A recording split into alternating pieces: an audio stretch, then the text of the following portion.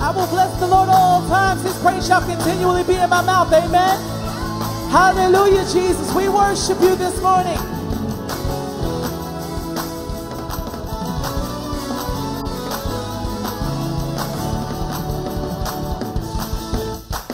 There's a river running never will run dry. Lord, rain.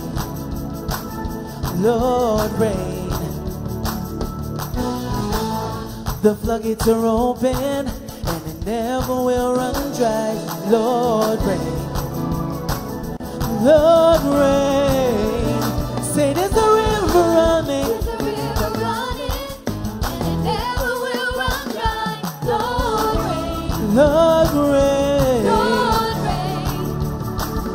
The floodgates are open. The Floodgates are open, and it never will run dry. Lord, rain, Lord, rain. Lord, rain. Release your favor, Lord. Release your favor, Lord, let it rain on me. Release your power. Release your power, Lord, let it rain on me. Send your glory, oh Lord. Release your glory,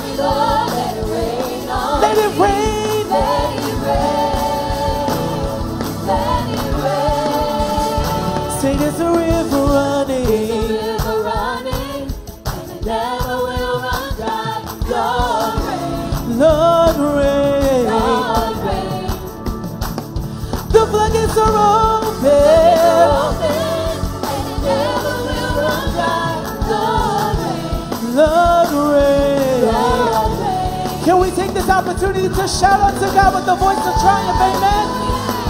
Hey.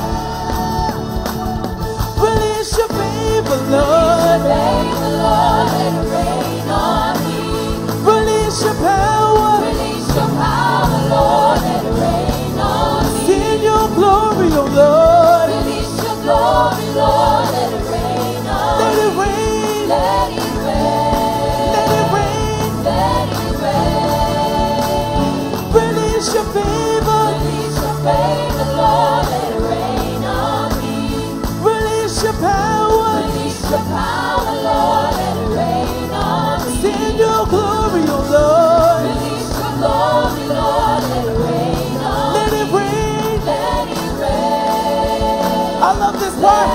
Can we dance on this part? Say jump and dance. Jump and dance in the rain. Have you come to praise Him this morning? Dance in the rain. Have you come to worship Him this morning? Dance in the rain. Hey, yeah.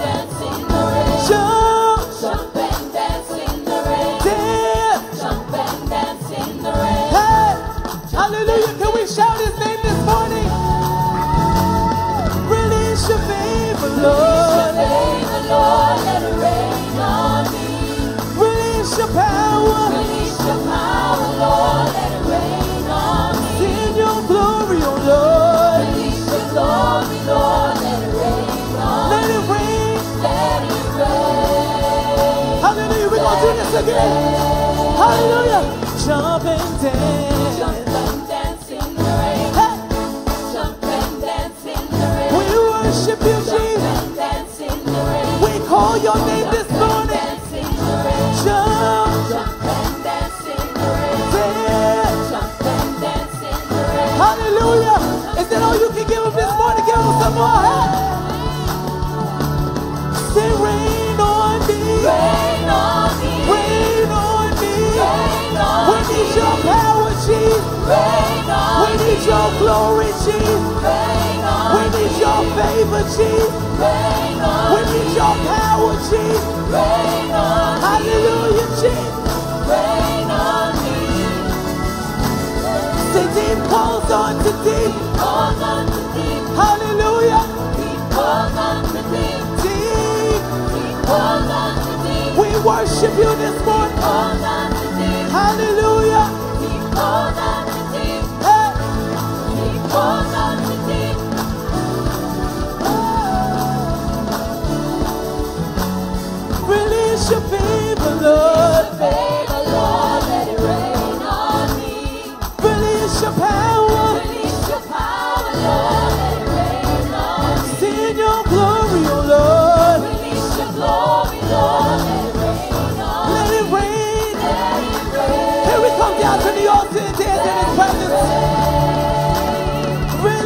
Favor.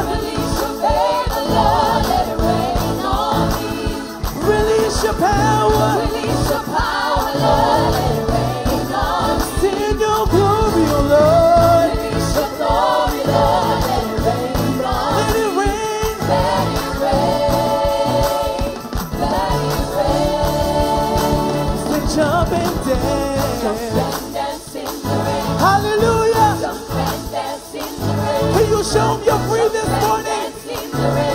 you may be going through, Dance in the rain. worship him now. Jump dance in the rain. He'll take it right away, man.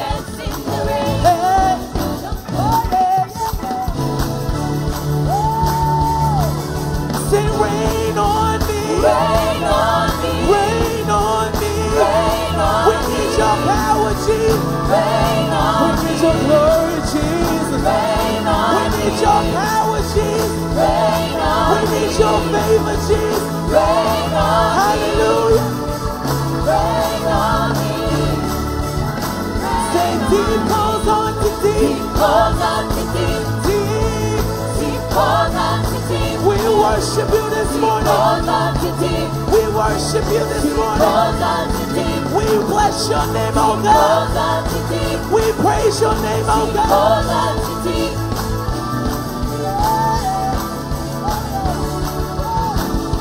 Release your favor. Release your favor, Lord, it rain on me. Release your power. Release your power, Lord, let it rain on me. Send your glory, oh Lord. Release your glory, Lord, let rain on Let me. it rain. Let it rain, Let it rain. let it rain. Hallelujah. Do you serve a miracle working God this morning? Do you serve a miracle working God this morning?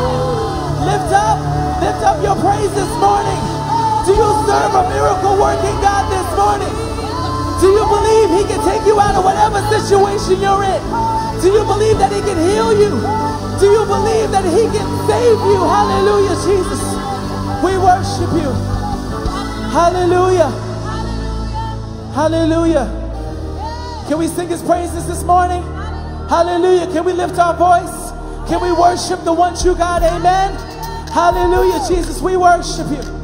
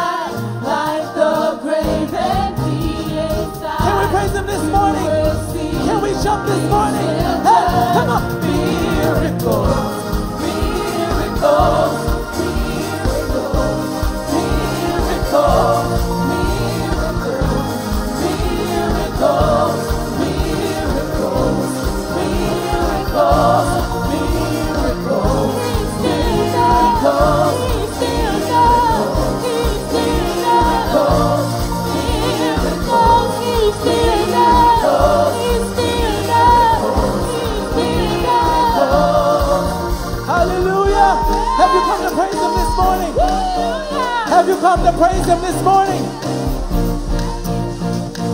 Can we give the Lord a magnificent praise this morning? Hey! Hallelujah, Jesus. We worship you this morning. Hallelujah, Jesus. Can we just love on Him this morning? Can we worship Him this morning? Hallelujah, Jesus. We worship you. Like the fire ocean parting wide,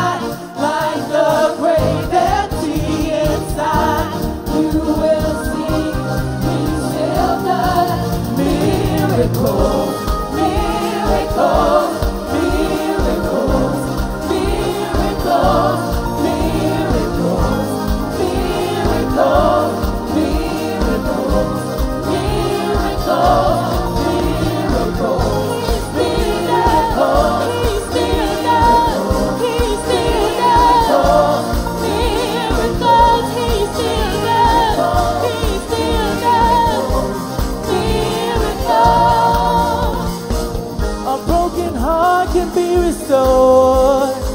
A broken soul can be reborn.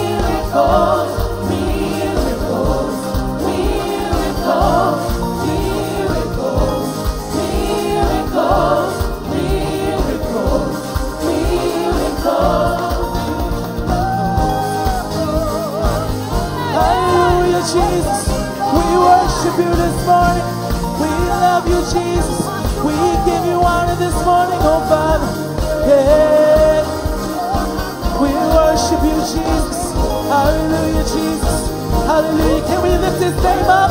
Can we shout his name this morning? Hallelujah. Can we shout his name this morning? Hallelujah, Jesus. We worship you, Jesus. Hallelujah, Jesus. We worship you.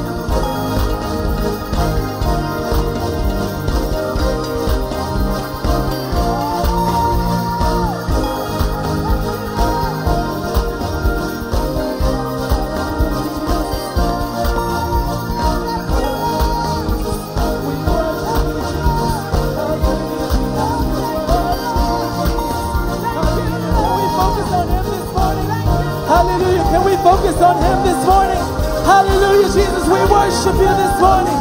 Hallelujah. Can you shout His name? Can you shout unto God with the voice of triumph? Amen. Hallelujah, Jesus. We worship you.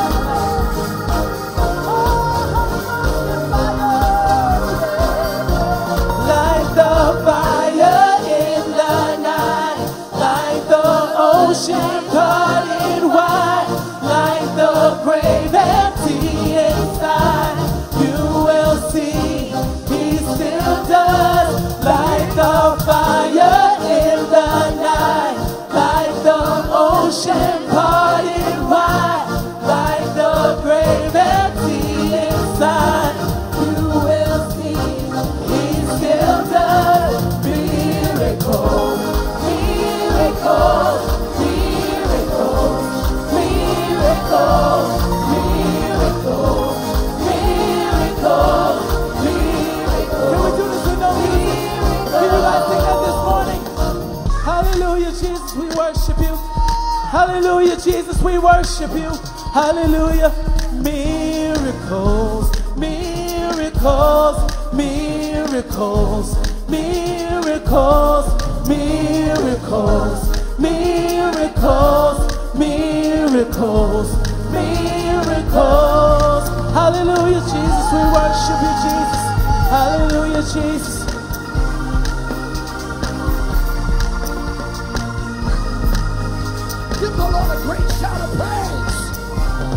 Somebody give God a shout of praise. Lift your voice and give God a shout. Everybody all over the building, lift your voice and shout. Shout, shout, shout. You came expecting a miracle. Shout with every fiber of your being. Shout with every ounce of energy and strength. If you believe this is your divine appointment for the extraordinary, lift up a praise right now that paralyzes the kingdom of darkness. Come on, somebody. Come on, somebody, praise him. Turn around, tell somebody, I came expecting a miracle. Tell somebody on the other side, bigger, better, greater. Tell somebody, bigger, better, greater. Miracles are on the way to your life. If you believe tonight, everything this morning, everything you've been expecting, you are about to experience, I want you to take 30 seconds and praise Him like you've never praised Him in all your days. Come on. Come on.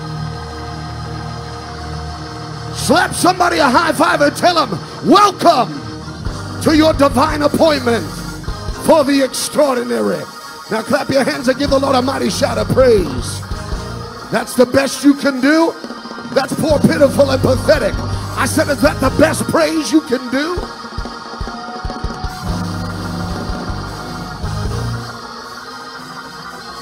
Somebody throw your head back, your hands high, and scream. My God, I feel miracles in the building. I said, I feel miracles in the building. Uh, I just want to make sure the mic's working.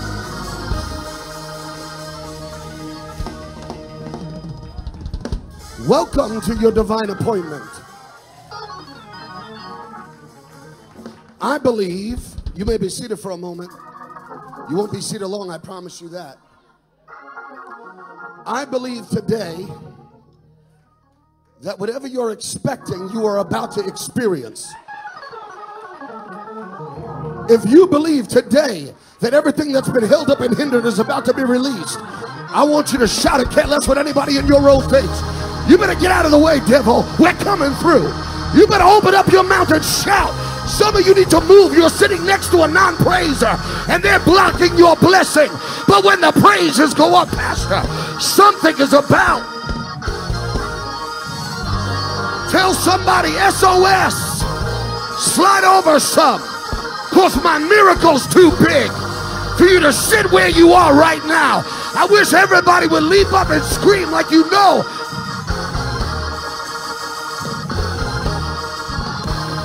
slap somebody a high five and tell them God is accelerating you. Tell them God is expediting. I feel like preaching and I'm not the preacher. Tell somebody God is expediting and accelerating your breakthrough. Now, if you believe revival is about to hit your house and sweep every member of your family into the kingdom, if you believe we're about to see signs and wonders and miracles, I want you to open up your mouth one more time and scream if you believe there are miracles being. I feel a release here. I feel a release here. I feel a release here. Everybody lift your hands and pray in the Holy Ghost. Pray in the Holy Ghost.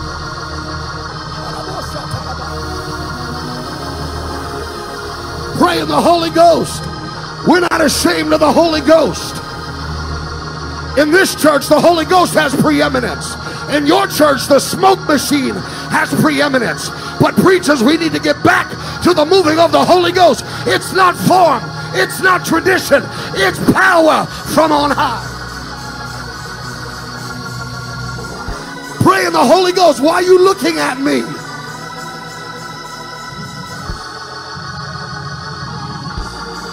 Pray in the Holy Ghost.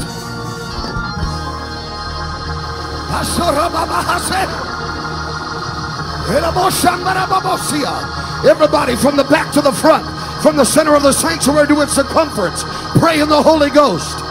Pray loud. I want you to know aggravate everybody in your row. Pray in the Holy Ghost. There's about to be a divine visitation. There's about to be a divine disturbance. Yeah, revival's on the way. Yeah, your family's about to be saved. That rebellious spirit is about to be broken off your son. It's about to be broken off your daughter. Your body's about to be healed. Your family's about to be saved. Your finances are about to increase. The blessing of the Lord is about to fall like rain in your life. Pray, pray, pray, pray. Pastor's getting ready to come. Pray.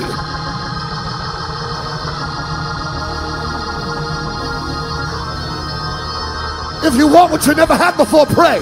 If you want to receive what you never received before, pray. Pray.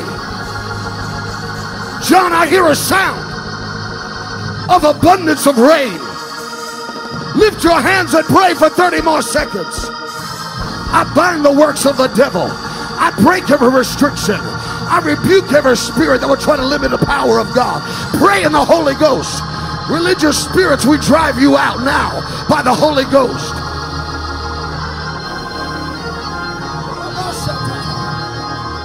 Revival's on the way. It's here now. I said revival is now. Revival is now. Revival is now. Somebody pray until it's not you praying, but it's the Holy Ghost praying through you.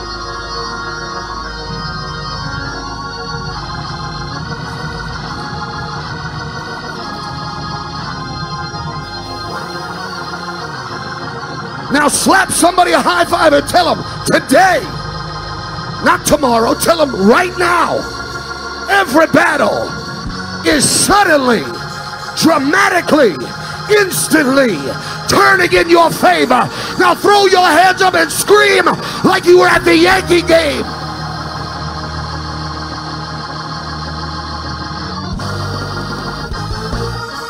Asharabosia. For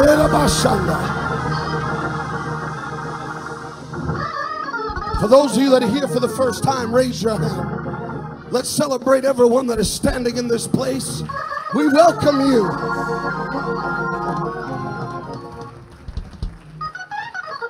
I'm Pastor Kevin McGinnis. Welcome to Jesus is Lord Church. This is the place where souls are won, mercy is extended, and where miracles happen.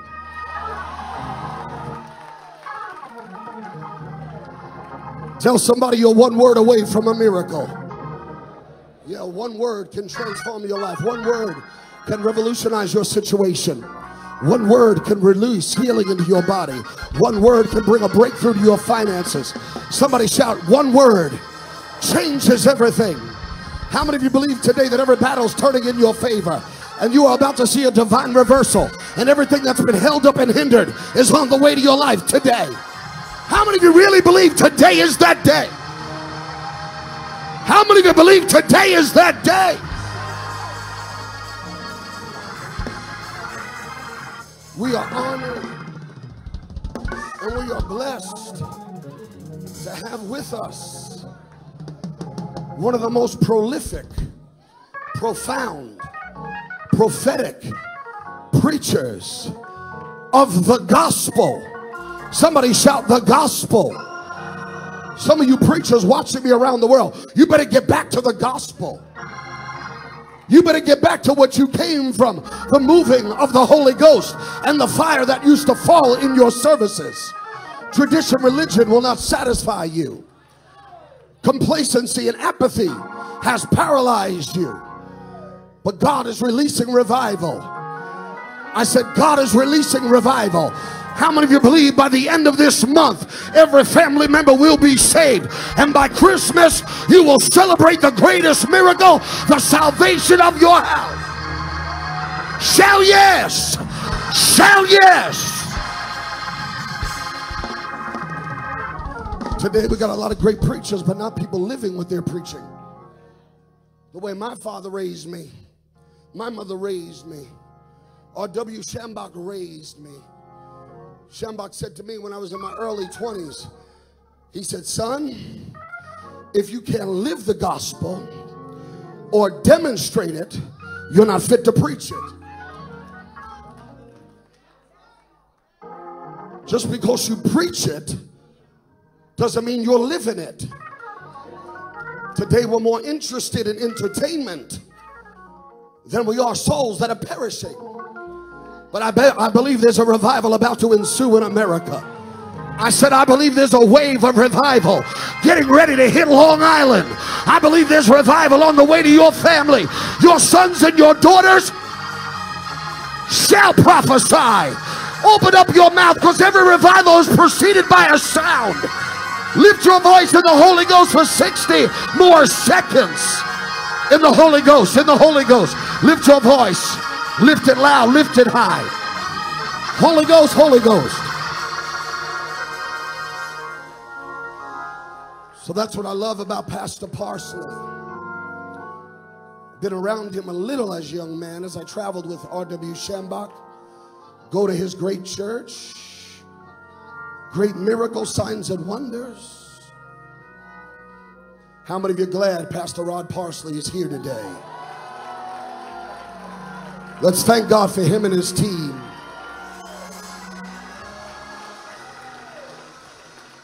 Pastor Rod, on behalf of my family, this church, the next generation of preachers, thank you for never lowering God's standard to accommodate those that refuse to raise theirs. We love you, we respect you, and we will honor you always.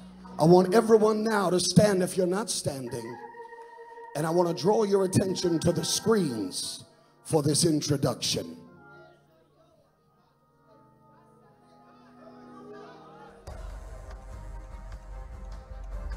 Dr. Rod Parsley is the founder and senior pastor of World Harvest Church, a thriving multi campus church headquartered in Columbus, Ohio. He is an international speaker, a frequent guest on numerous media outlets, and the host of a daily television broadcast, Breakthrough, viewed by millions worldwide.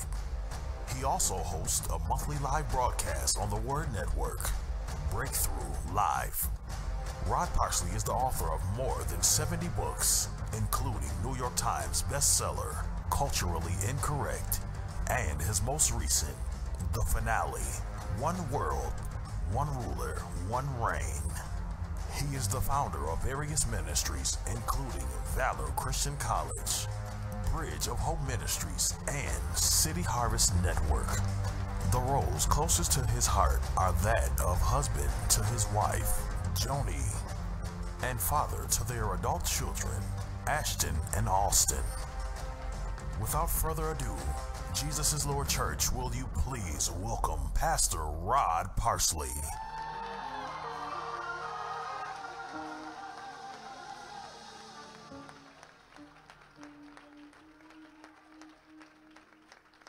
Thank you, Pastor McGinnis, First Lady, tremendous congregation at Jesus is Lord. I am more than honored to have the opportunity to be with you today. Um, God, God has blessed me beyond compare. I am overwhelmingly thankful today. I I am walking mm, in a new garment that has nothing to do with this suit of clothing they hang on me.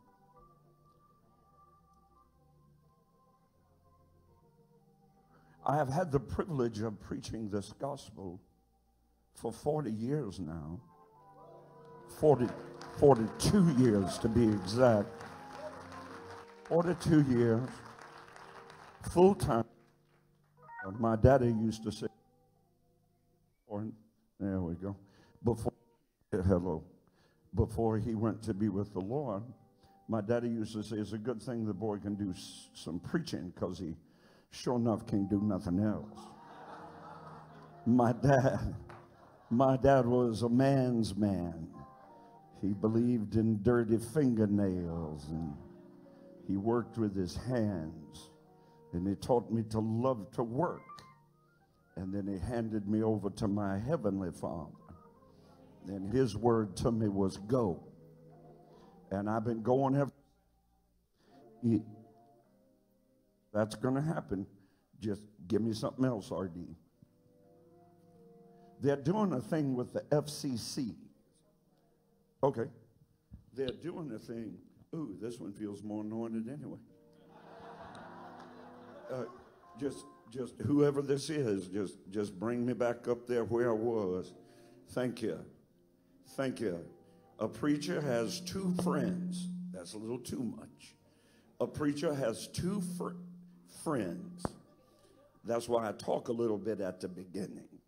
A preacher has two friends the Holy Ghost and an anointed sound engineer. That's, that's,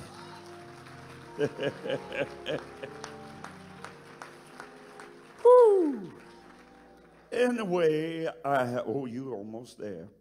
Anyway, I have been privileged to preach this gospel for 42 years, 150 nights a year outside the 14 ministries that God has blessed me to be in leadership over, including World Harvest Church and Valor Christian College and Harvest Preparatory School and, and uh, the women's clinics that are saving on average three babies a day, 365 days a year from the horror of the American Holocaust called abortion. I'm just seeing who I got. I'm trying to find a saved folk. Maybe they over here. I'm trying to find a, I'm on my way to heaven and I know it, folk. That's what I'm looking for. I'm looking for somebody made the decision that you're not going to be silent no more.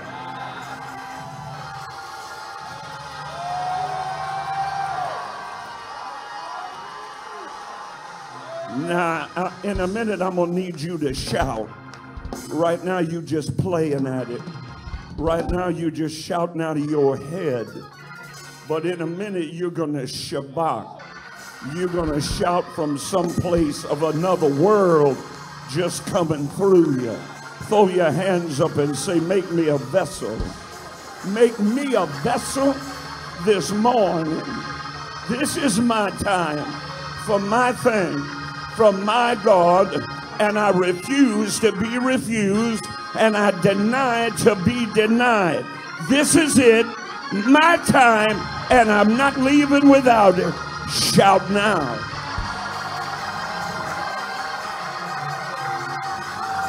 I ask folk, I ask folk to shout uh, because uh, after all of that preaching,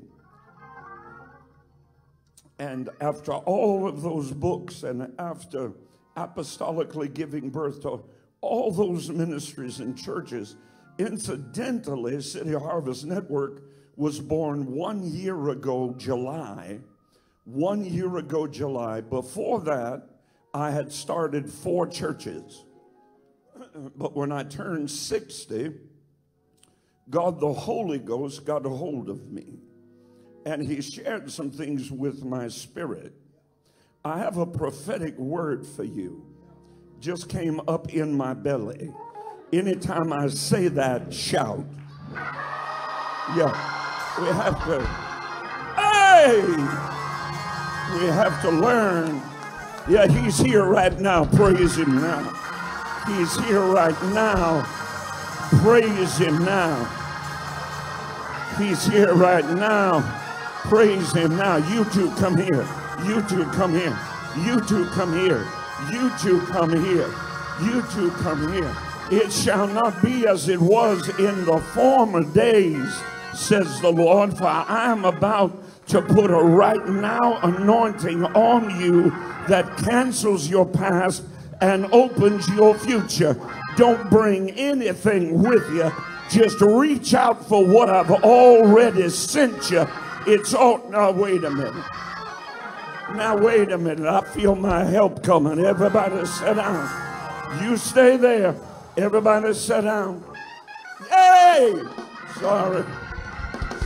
I'm subject to bursts of enthusiasm. What kind of job do you work? I'm a cook in a nursing home. At a nursing home. Are you ready to earn to own a nursing home? Well, are you not? Heck yeah. You ready? Do you know him? That's your My brother. your brother. What do you do? I'm a nurse. You're a nurse. Get up. Get up. Get up. Stand over here. You're about to be given an opportunity. It's an opportunity that has its birthing in a place of discomfort for you. There's something about your job that's been uncomfortable to you and it gets on your nerves. Is that right? Yes. Yeah, well, get ready because whoever that is, you're about to have their job. Okay, come here. No, don't you patty cake. This is not frozen. This is not a Broadway play. This Holy Ghost church. And if you need a Red Bull, go drink one. Otherwise, get in touch with a power from another world. Get on your feet and go to shouting.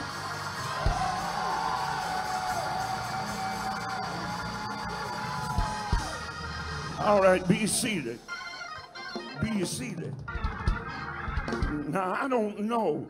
You have to understand there are different kinds of prophecy. There are two major folks afraid to look at me right now. That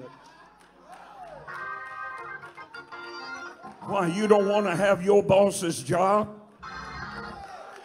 Everybody that wants to have your boss's job, stand up. Are they in the kingdom? Is your boss in the kingdom? Are they in the is your boss in the kingdom of God? You're not sure, then they ain't. If you're unsure if your boss, your husband, your nephew, your cousin, your aunt, your uncle, if you're unsure whether or not they're in the kingdom of God, they're not. Because you tell kingdom people, I can pick some of out right now. You tell kingdom people, kingdom people talk about a resurrection while they hanging on a cross. Kingdom people know the front seat is reserved for them, even though they've been told to get to the back of the bus. I, I need somebody who wants to raise your hands and tell the devil, my daddy owned the bus line. I sit where I please.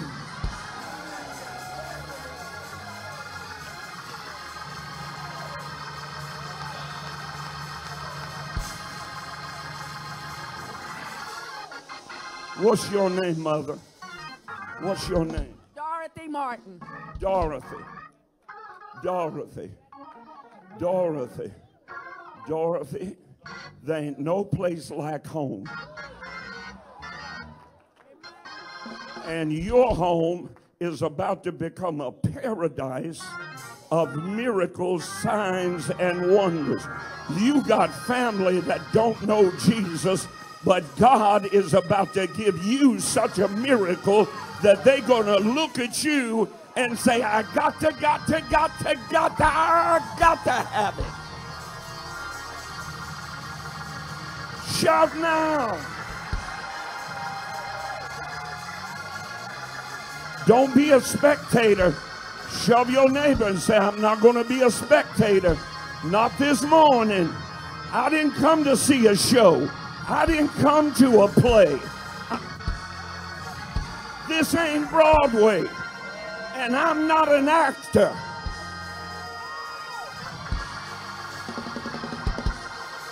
Let me introduce myself to you. It's been 18 years since I've been on Long Island. I got a feeling it's not going to be another 18 before I come back. I, I feel something up in here. I feel a rumbling in the mulberry bushes. I feel something quaking just under my feet. I feel a Holy Ghost salvation, healing, and deliverance move of God about to hit this island like a wave in the ocean.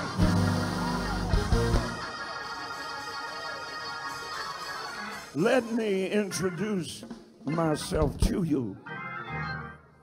May have been a while since I seen y'all. I had a building over here right after 9 11. 6,000 people packed it out. I preached a message called The Empire Strikes Back. That was prophetic for now. Sometimes God put a word out. It take a long time for that word to come for that word to come to its destiny fulfillment. That's what God, I heard you, Holy Ghost. That's what got Jesus up from the dead. Shove your neighbor and say, He's about to say a thing right now, right now, right now. He about to listen up now. Listen up. He about to say something. He about to say something. We about to get a word up in here right now.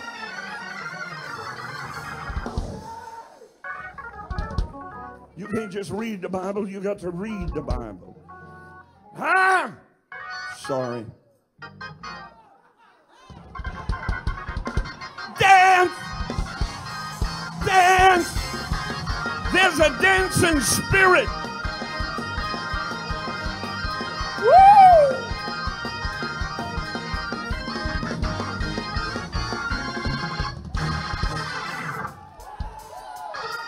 Now shout. Now clap.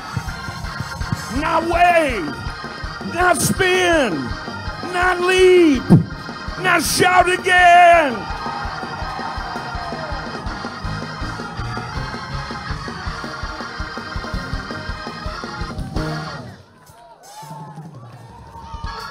Now, now, now you see, you could have a lot of preachers up in here. Y'all have a lot of preachers.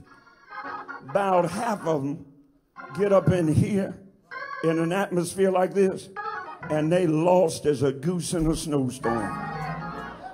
Because they know how to preach a sermon, but they can't find the wind of the Holy Ghost. All you need to be a preacher is a sermon. But if you're going to be a Holy Ghost firebrand man of God, you better find you an altar and you better grab hold the Holy Ghost. Thank Him for the Holy Ghost right now. If you speak in that language, speak in it now. Let all your neighbors know the greater one lives on the inside of you.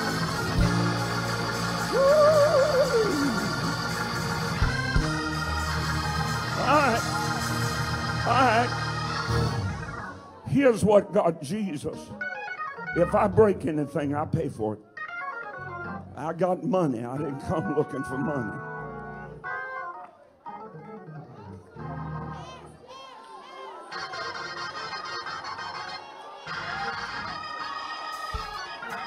I give away more money every year than I make. You figure it out.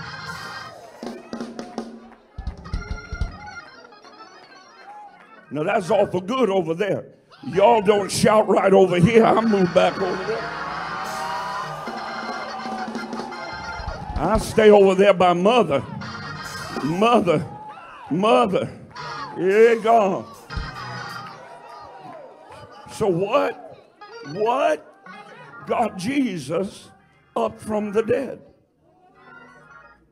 So you can't just read the Bible, you got to read the Bible and quit, quit waiting on some doubly dead, plucked up by the roots, hireling, six foot icicle somewhere.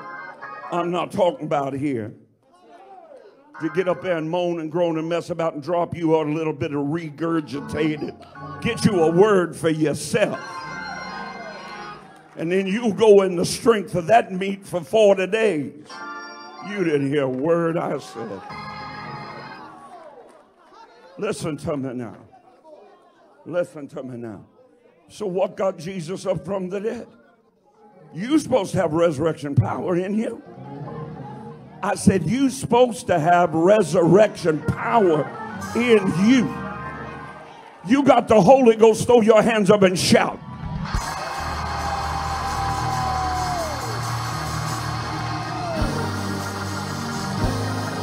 Shout till you get tired of shouting.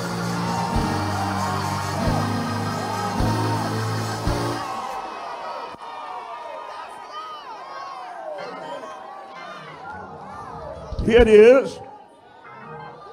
For David, way yonder back in the first covenant, David said concerning Jesus, it is not possible that death should hold him, nor will you suffer your darling to see corruption.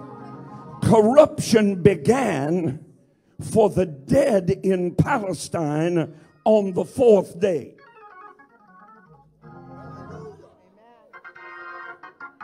After they buried by Jewish tradition, that's the reason the women came on the third day to anoint the body with spices. Not the first day, but the third day, they're bringing that stuff to anoint him with 15 gallons of oil. I don't know why Christians today think a little dab, but do you? Do you know? Do you know? Do you know? You know? You know? Uh, Ted Shuttlesworth. What if you do shout? Ted Shuttlesworth. He's a buddy of mine. We like collard greens and fried green tomatoes and stuff like that. You don't know from nothing about that on Long Island. Listen, he came. I was diagnosed with cancer. I could show you pictures of it. Cancer. Vocal cord cancer. The doctor looked at Mr. Silent no more and said, We don't know that you will ever take a microphone and a Bible again. Well, it's easy for you to say no now. But I needed some folks stand with me then. And Brother Shuttlesworth showed up. He got that Schambach anointing like your pastor. Thank God for your pastor.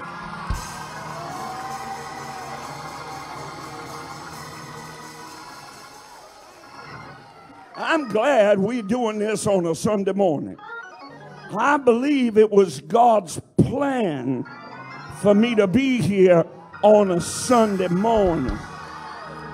I only do this three times a year. I pick three places where I'll be on Sunday morning, other than that pulpit in Columbus. And there's one of them. Here's why.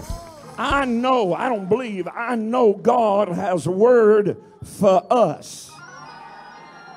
And we don't need to be distracted by those folk drifting in from some half dead church. Don't look at me funny. I come in here on a Thursday night or something, they all come from other churches and all that kind of stuff. Let them stay in their mess this morning. We got the right folk up in here. I thought I heard somebody praise. I thought I heard somebody give him praise. So, Brother Shuttlesworth, Brother Shuttlesworth, he said, I come preach for you. I said, Come on. And uh, I believe it was a week after I got that diagnosis, that word that strikes fear in the heart of mortal men cancer.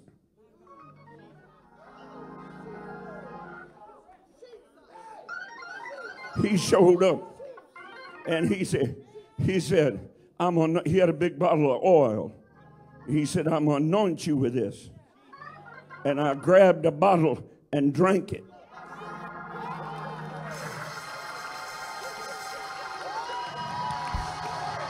Some of you need another drink. Somebody need to take another dip and come on up shouting. Take a dip. Take a dip. Take a dip. Take a dip. Take a dip. Take a dip. Now shout.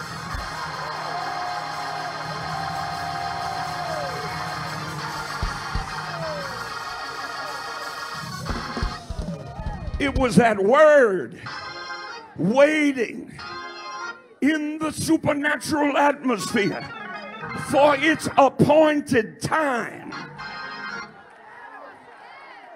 Somebody about to get a word in your appointed time. Somebody about to get a word. Been waiting on you to get right here. Take a step throw up your hands and shout, I'm getting it today.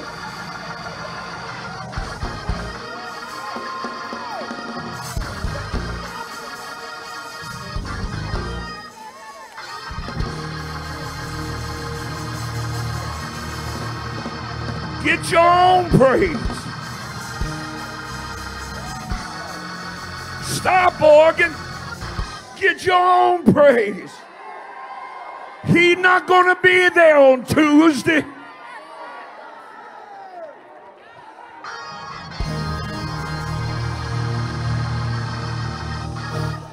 Now,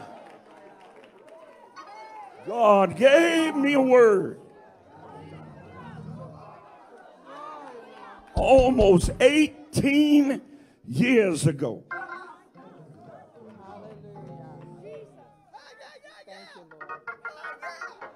Sit down a minute. If I got your seat, find another one. I need a handkerchief. Here. Now, you get out of the Holy Ghost, I'll make you stand up again. Sitting, sitting is a contented posture. Where you sit, you intend to stay.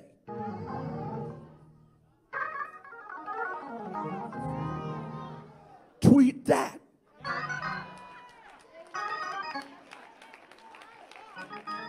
You believe you're going to grab a hold of something today that ain't going to let you go.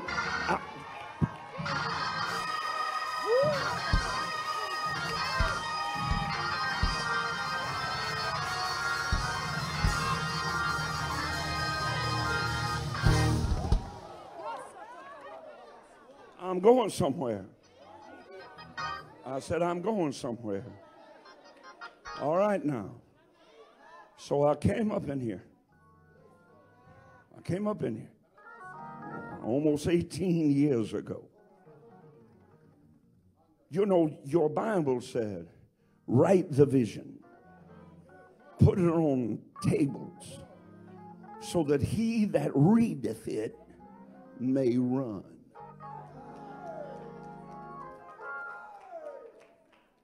David said concerning Jesus, it is not possible.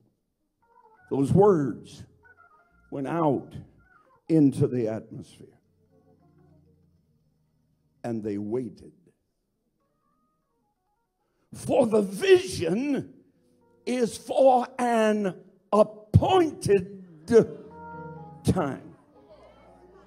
Isaiah said, He was wounded for your transgressions, uh, He was bruised for your iniquities. The chastisement of your peace was laid upon him, and with and by his stripes you were and therefore are healed. But now, wait a minute. That was Isaiah. That was Isaiah. Isaiah said that. Nobody got it on tape. Nobody tweeted it. There wasn't no video evidence. Just somebody wrote down those words, not only in earth, but they were recorded on high. And then in 2015, when Doctor at what's that? Vanderbilt University in Nashville, Tennessee, looked at me and said, Dr. Parsley, we don't know how to tell you this, but what we thought were just polyps on your vocal cords from strain is cancer, squamous cell carcinoma. All of a sudden, from somewhere, Isaiah's words heard the doctor's words and said, It's my time. I've been waiting, anticipating. I've been expecting, and God will not deny me. Do you have a word that hadn't manifested just yet? But you know you shall have it, shall now.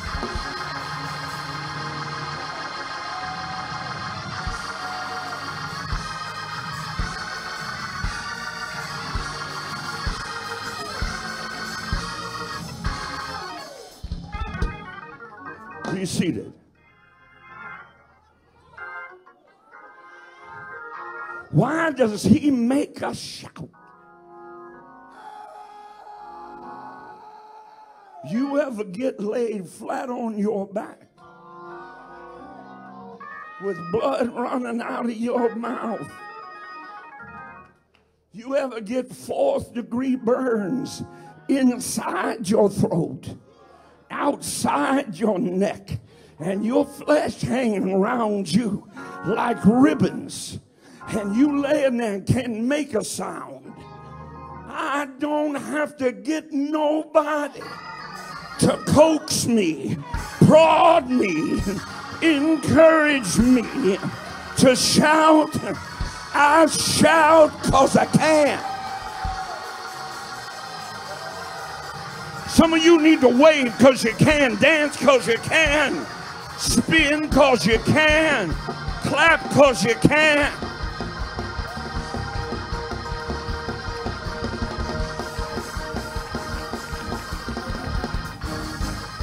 I be seated.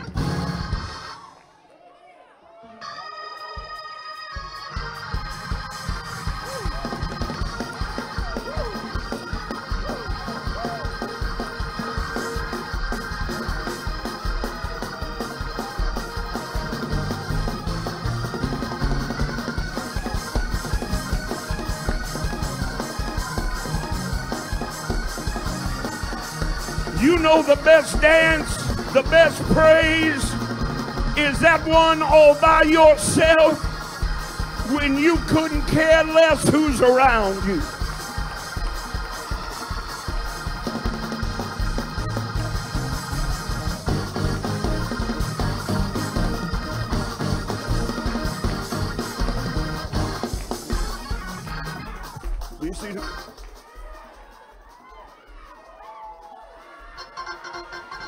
don't uh, I don't preach long. I just get interrupted a lot.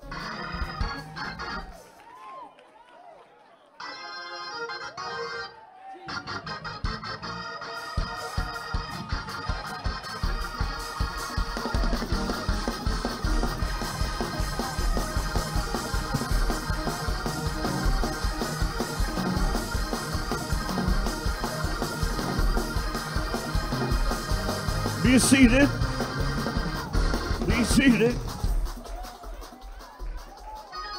Hey!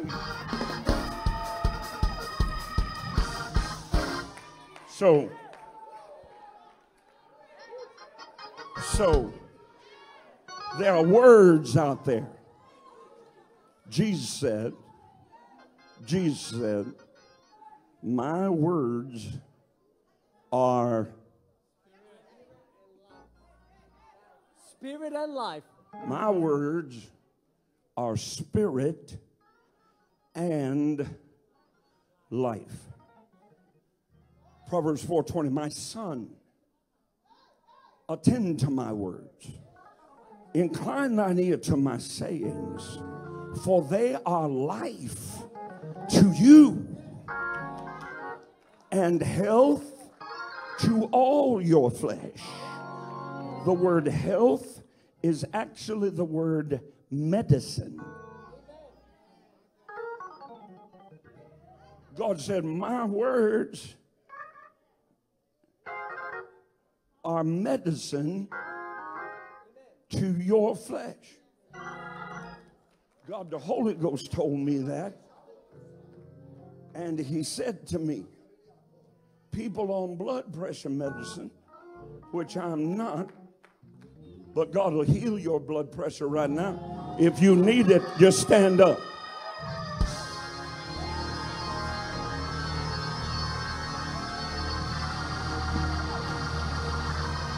God to heal you. If you receive it right now, your doctor will tell you, we don't know what's going on. We're going to have to adjust your medication. Take it, take it, take it, take it, take it, take it. Now shout, I'm healed. Be seated.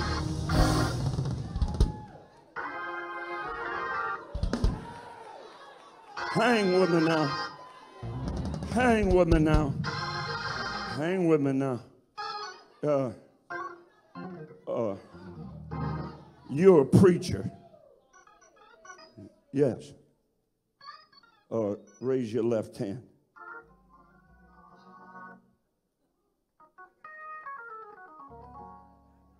I don't prophesy to people. That's the lowest rank in prophecy. The lowest rank in prophecy is to have the God kind of faith which is available to every believer. The God kind of faith. Faith comes five ways. Faith comes by hearing, and hearing by the word of God. Secondly, faith comes by impartation. That means it's tangible. It is tangible. Can I see your purse? It's tangible, right? And if you have it, you can give it to me. You just did. Because it's not only tangible, it's transferable. That means you get around somebody with it, it'll get on you. The spirit of faith is in the atmosphere of this house. Jump up on your feet and take a dip in it.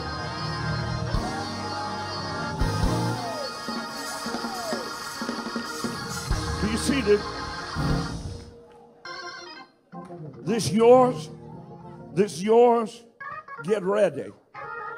You got at least a thousand dollar miracle coming. Huh? I said, You got at least a thousand dollar miracle coming. No, you're not listening to me. You have at least a thousand dollar miracle coming. Huh? Oh, yeah. I receive it in I receive it in Jesus' name. Lift your hands up and thank God for it. Now, see, I'm teaching you something right now. I know this because when I took hold of her purse, God told me to give her a thousand dollars. I didn't come to get, I came to give.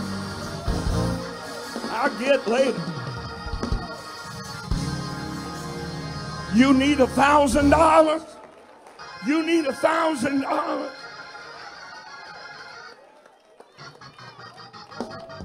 Pastor, is she all right? Do, do you know her? You don't know her. Okay, if she's a flake, that thousand dollars will be cursed. I'm here under your authority. I'm tired of people coming into my church and prophesying my worship team out of my church. You devil, shut your mouth. You, you under my authority, you in my place. I wish preachers had learned something. They go prophesying, oh, God is going to make you this, that, and other. And I know the person they're talking to is a rank thief. See, so they don't look at me for they do that. I was in a service Friday night. I started to prophesy to a preacher on the front row. I looked over at the pastor, and the pastor dropped his head. That's, and I never said a word to him. I just told him to sit back down. That's not my place. Let the voice of the prophets be subject to the prophets. And let me tell y'all another thing that Jesus is Lord. I am on television, which does not make me your pastor. I bought more television time than any preacher in the history of this nation. And that did not make me those people. This man, this woman, this woman, this family, they are the shepherds of your soul. Your future, God, I'm anointed in here today. Your future is wrapped up in His words.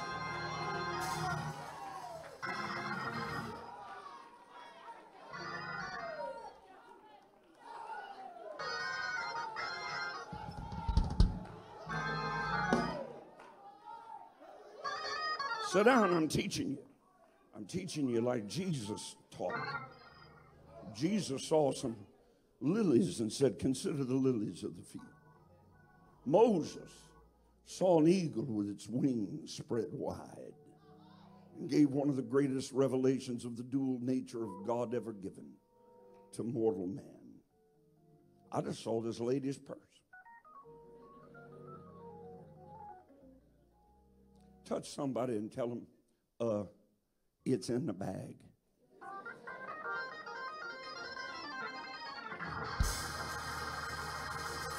I'm about to run.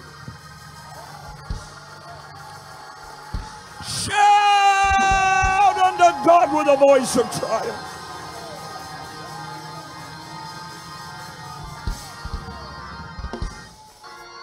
Be seated. I'm illustrating something to you. Here's what I'm illustrating to you the elementary form of prophecy is that which every believer can operate in. The God kind of faith that calleth those things that be not as though they are. That's where most prophetic unction operates, even in preachers. It should operate in all believers. But since the believers are so backslidden because the preachers don't preach nothing,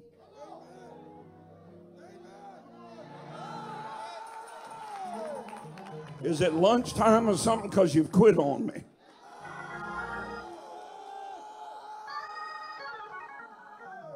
Yes, sir. Every believer. See, you ought to be pulling these chairs up and throwing them across the room. I just told you every believer can call those things that be not as though they are in the God kind of faith and possess whatsoever you say. So get to talking. Call your family, say, Call your children in the gospel. Call your husband in the ministry. Get to speaking. Call millions of dollars into this church.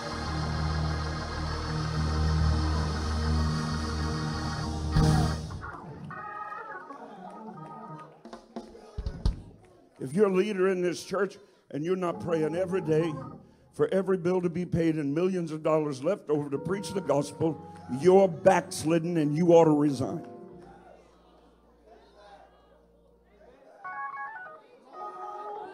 God didn't bring me back from the dead to play. You got some preacher with manicured fingernails and getting himself a pedicure to do that. You don't need me. But you want to get something on you the devil can't get off you? You need me.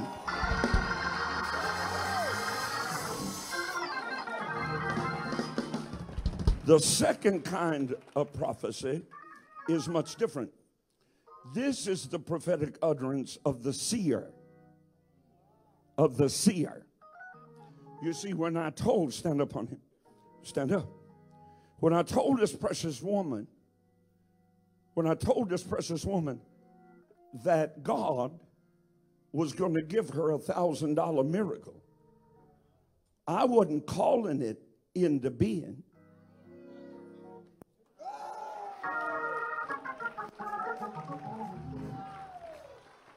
I already knew it. Because when I walked up to her and took her purse, God the Holy Ghost set up in my spirit, give her a thousand dollars. All I did is tell her what I already knew. This is not calling those things that be not as though they are. This is seeing those things that are already there and being the mouthpiece of God just to let you know it. That's how I prophesy. When I tell this man that God's going to put a seven times greater anointing in his left hand to heal the sick, especially in regard to tumors, and your wife is going to have a supernatural anointing in regard to cancer and deliverance. And deliverance. I'm not telling you what I'm prophesying out there to come to pass. I'm telling you what God the Holy Ghost already told me, and He's not a man that He should lie.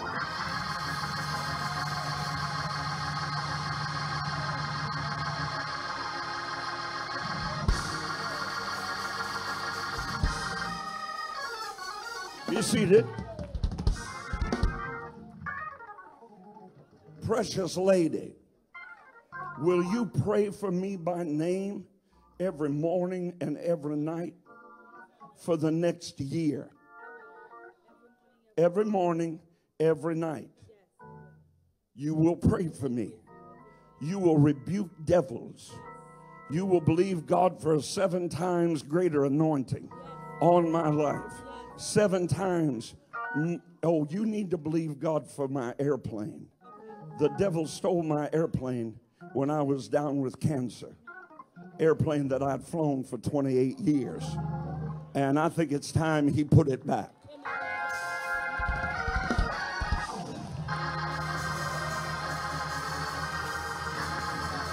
All right. Hey! Be seated. So, eight, 18 years ago, I was here on Long Island. Your former precious pastor, the apostle, now gone to be with Jesus, was the main support I had in being here and I love him. To this day, he's watching right now. We are encompassed round about with so great a cloud of witnesses, the spirits of just men made perfect. They're shouting right now. Why don't you join them? Just stir yourself up.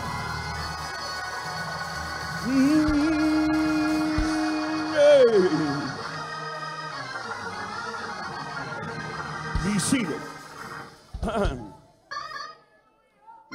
Pastor, under this seven times greater anointing, most folk don't recognize my ministry. That it's just, it's just very, very different. There's a different cadence. Uh, there's a different movement. There's a different sound. Yeah.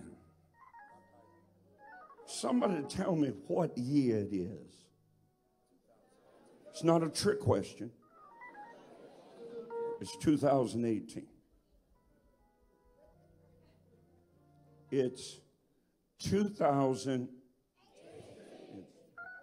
See if this group over here gets it. It's 2000. God's a God of timing. He's a God of purpose, intention, plan, program, government. Not that crazy bunch in Washington. They don't know from nothing. None of them.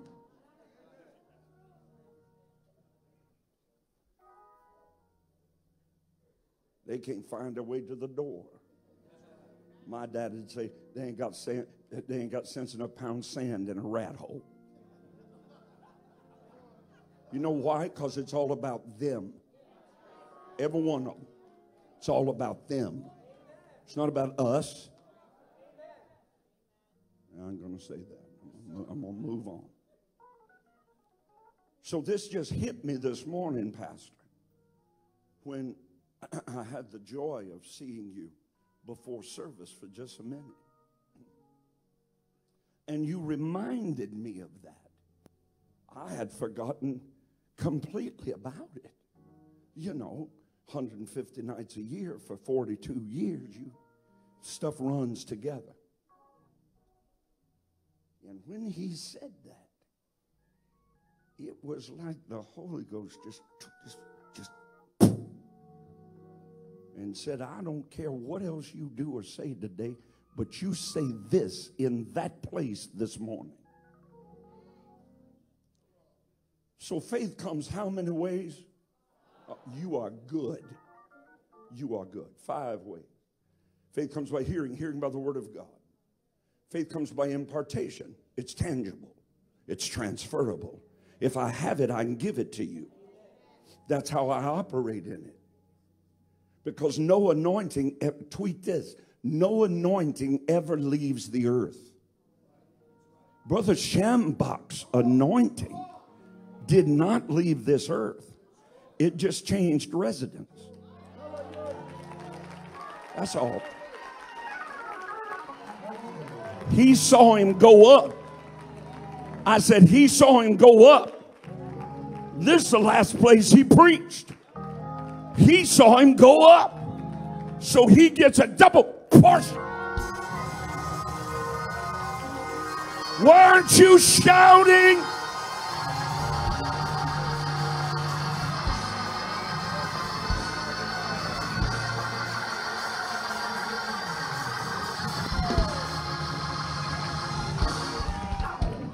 Be seated. Faith comes by hearing. Faith comes by impartation. You know, Paul said to Timothy, it was in your grandma. She left, it got in your mom. She left, now it's in you. And Paul said, You get a double portion because it's also in you now by the putting on of my hands. So he transferred. That's why you find a man or woman of God, you better stick tight. You better, you better be like Elisha. There he is. You go, Pastor, you going to Long Island. I'm going with you.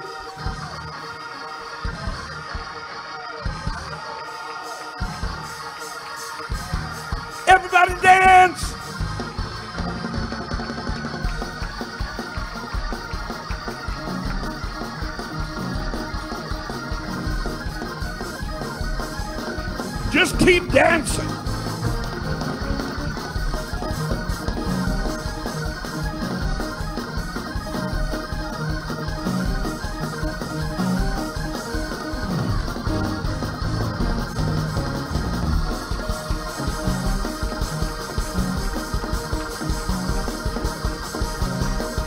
Now, one good, thank you, Jesus.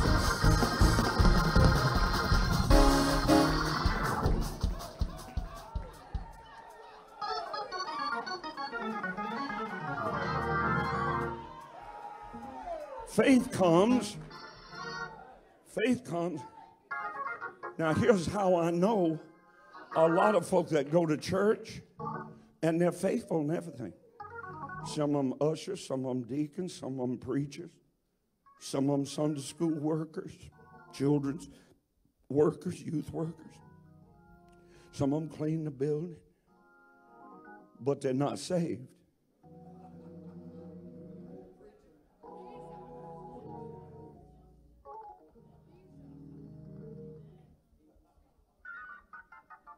I'm just sorting the fish.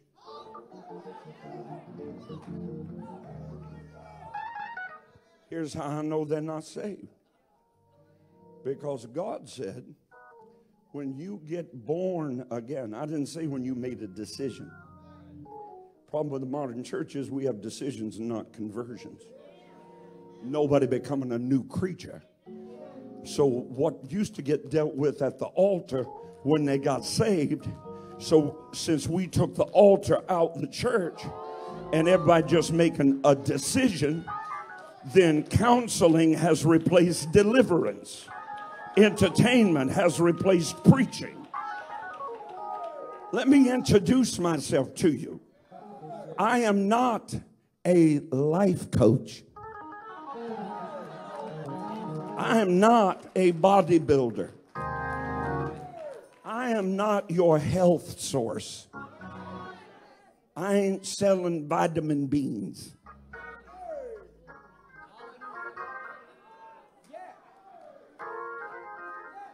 No protein shakes, neither. I wish some so called believers would spend half the time trying to get their spirit in shape. Some of these preachers.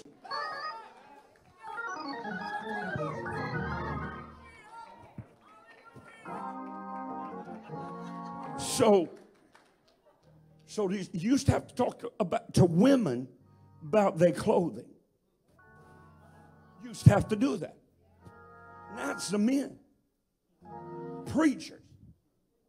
If I ever see you on Facebook with your shirt off and your muscles flexed, or you running around preaching in some little skin tight t shirt and flexing your bicep while you hold the microphone, I'm done with you.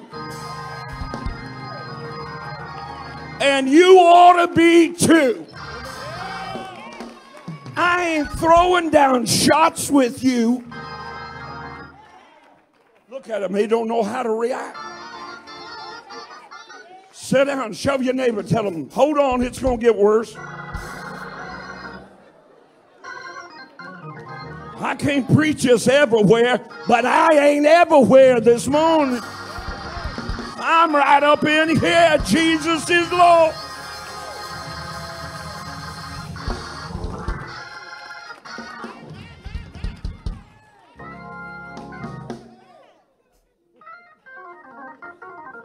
You love me, don't you?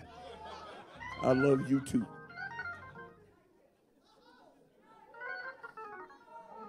You look like you could cook. You cook?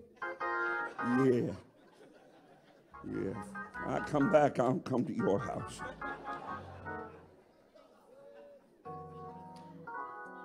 This is why, how I know whether or not you're really born again. Because the third wave faith comes. God said, if you get truly born again, He gives you the measure of faith. Stop. The measure of faith for what? For anything you need as a new born again child of God. And then he says, which of you, being an earthly father, if his child asked him for bread, will you give him a stone? God is not a bait and switch God. God said, Ask, and you shall receive. Seek, and you shall find. Knock, and it shall be open to you. If there's been a door closed in your face, I dare you to knock right now. The bank said no, is about to say yes. Your boss said no, he's about to say yes. The doctor said die, he's about to say live.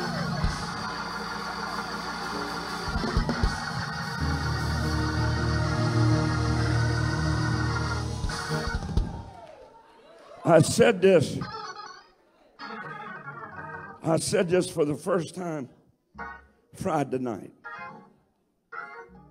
Friday night. My wife had spoken to me. And she said, she's very, very, very prophetic, very quiet, but when she says a thing, E.F. Hutton listens. She said, Since you've been back under this seven times greater anointing, she said, There's a new anointing that has come on you, but you are being, you don't mean to, but you're being resistant to it. Your wife talked to you like that. I said, What is it? She said, Now, this is the uh, first time I ever mentioned this, was this past Friday night in some place in New Jersey, and nobody should be.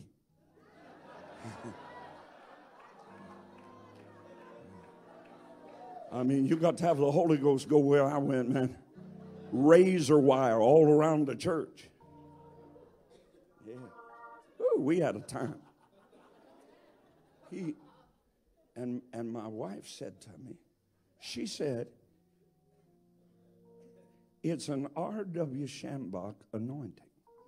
I said, now wait a minute. Brother Schambach had me lay hands on a young boy blind from birth right here at my altar. He was 11 or 12 years old, had never even seen a light in front of his eyes. And he turned to me, watch this now. Come here, Rod. God's going to open this boy's eyes. Now lay your hands on him. Yeah. Open his eyes. That boy looked around. And God put perfect sight in both his eyes. And it's still there today. And that's over 15 years ago. I thought this was a shouting church. I thought I just told you, your pastor today stepped into a double portion of that anointing. You better start bringing the blind in here, the deaf, the lame, cancer. Start having healing services. Just have healing service. All right, be seated. Now, that's not what my wife was talking about. I asked her about that. I said, You mean like that blindness anointing? She said, No, no, you're already walking in that, which was true. I said, Well, then what is it Did anybody watch the fight last night? It's not a sin. I'm not talking about the one in your neighborhood. I'm. Anybody, what was that cat's name? McGregor. Huh? McGregor. No, he didn't. But she said, You know what you always say about Brother Schambach? I said, Yes. She said, What you always tell young preachers about Brother Schambach? I said, I know what to tell them.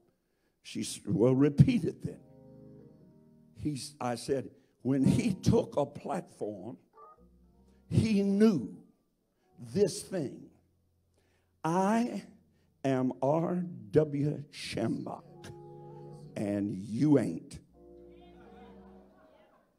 He walked in an unusual, apostolic, not angry, but apost- joyful, apostolic anointing.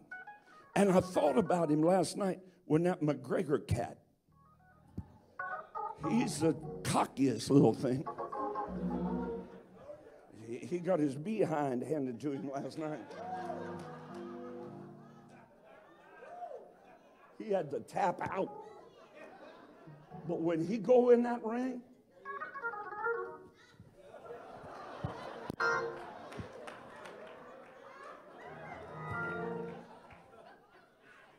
that's what's on me. I don't fear nobody and nothing. I ain't got nobody to impress and nobody to entertain. I have an audience of one, and he is well pleased.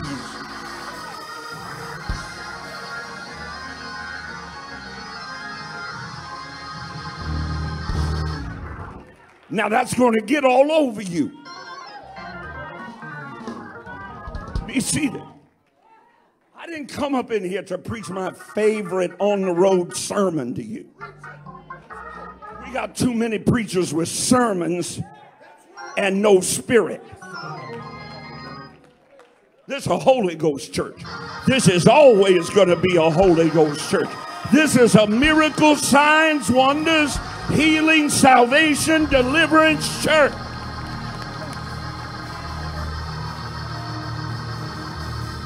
Know where I am. Be seated. Is it quit time yet?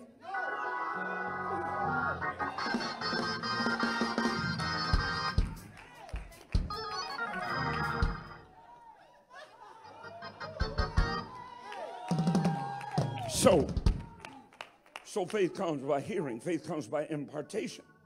Faith comes when you get born again. So, like, I know if you have faith or not by whether or not you're one of these Christians that is a contributor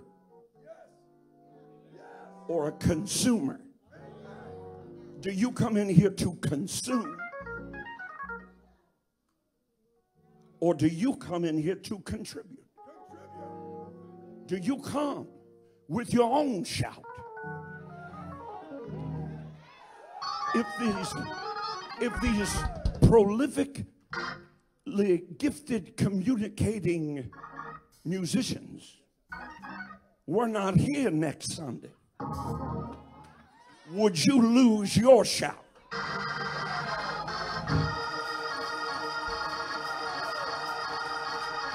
Mm. Or would you come in with your own hallelujah? Would you come in with a testimony that's up to date? Let me tell you what it did for me this morning. Do you get up looking to run the devil off or hide from him? Be seated. Do you have faith? You say, Well, I'm trying to get it. I'm I'm getting in the word. No. No, no, no, no. Faith that you need for everyday life, all ah, all that applies to you, spirit, soul, and body, and everything that pertains to life and godliness is already in you if you're born again and you don't need anybody to lay hands on you for that. You don't need to get in the healing line for that. He's not supposed to be the only one with faith. You're supposed to come in here with faith.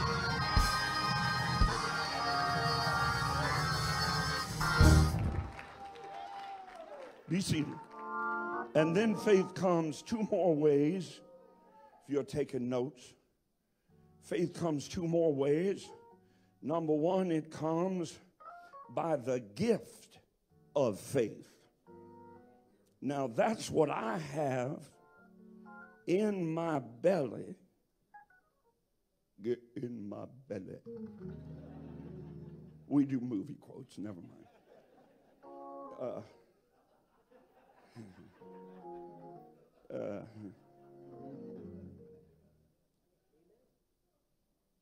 I have that gift in me, you see. I have it from several different streams. I have it from the stream of the greatest faith teacher I ever knew in my life, which just two nights ago went to be with the Lord at 91 years of age. His name was Norval Hayes.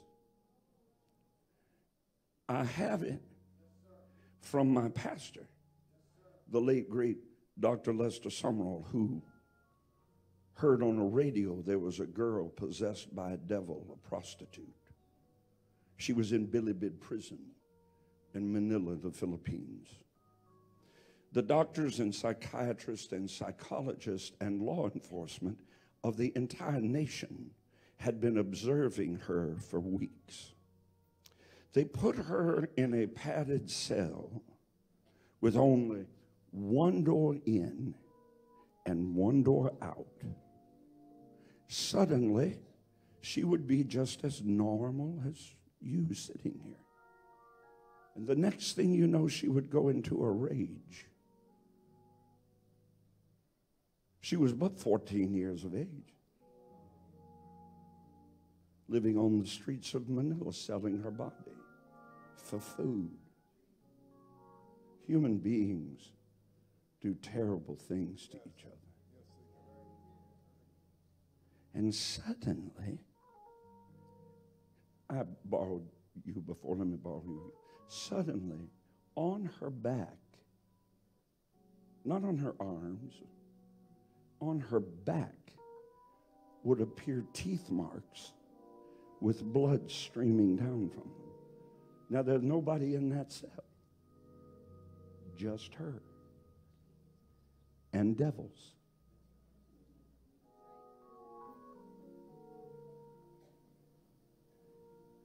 My pastor walked into that cell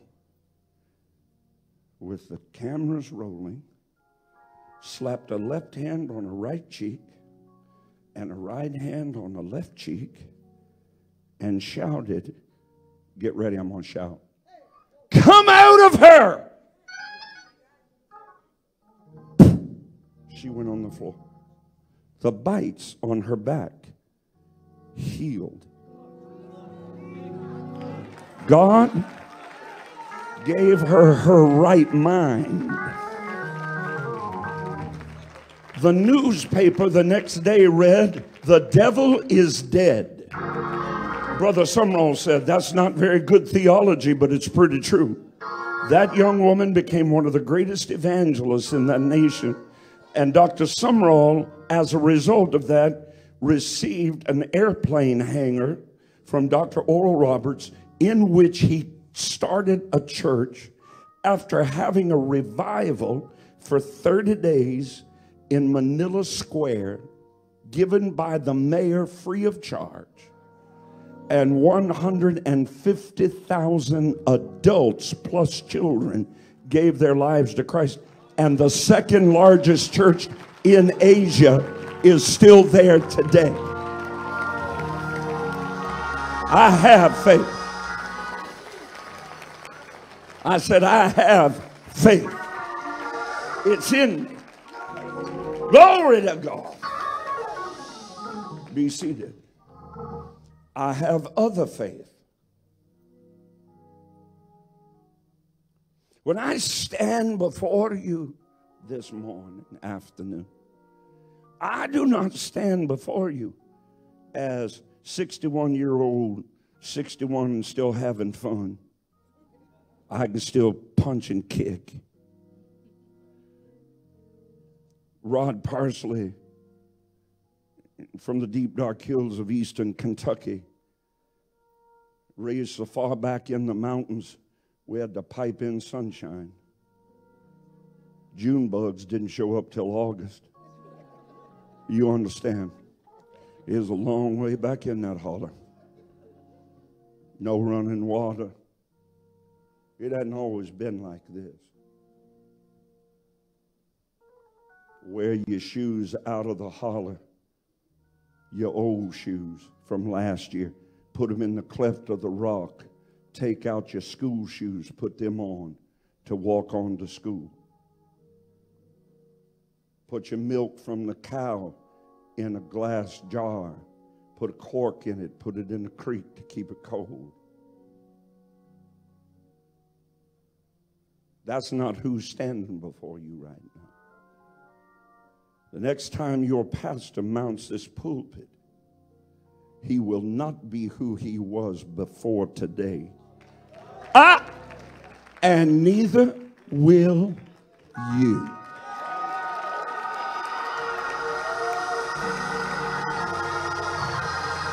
Oh, you lost your shout.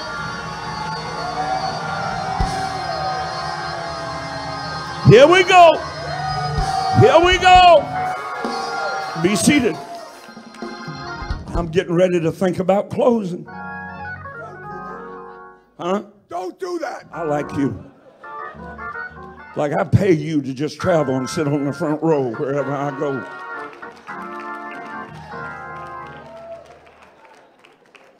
That's the way a front row ought to be. I told my front row last week, every one of you don't sit on the front row no more. You don't shout right. You, you don't want to go to my church. I told one of the musicians not long ago, you fornicating, get off my platform.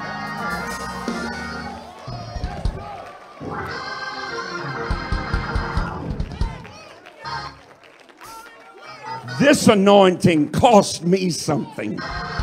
You ain't messing with it. Be seated. So, God, then the last way faith comes faith comes by the fruit of faith. Fruit is not something that gets hung on a Christmas tree, fruit is something naturally produced from the tree. So, in other words, you should have faith for no other reason than the fruit of faith just flows out of your life. Y'all were shouting pretty good a while ago, but now I brought us to a point. We are now at what Andy Grove called Andy Grove's second wealthiest computer mogul in the history of the world. Andy Grove, founder of the Intel Corporation. So every computer you ever turn on has got a little Intel thing on it. That's him. He gets money every time you look at that. Andy Grove wrote a book. In that book, he describes something called a strategic inflection point. What is that? That's a place where you come to not a dead end because a dead end has no outlet.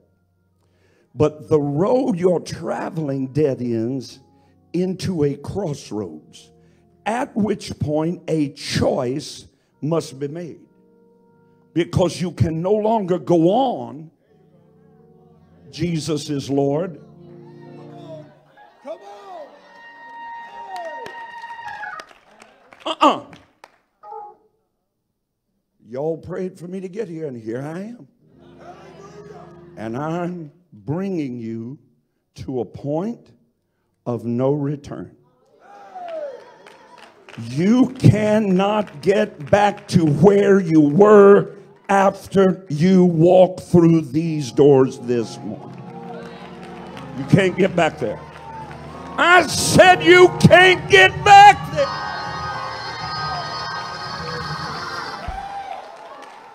Look over your left shoulder. Look back over your right shoulder. Look back at me. Say, that's the last time I look back. There ain't nothing back there.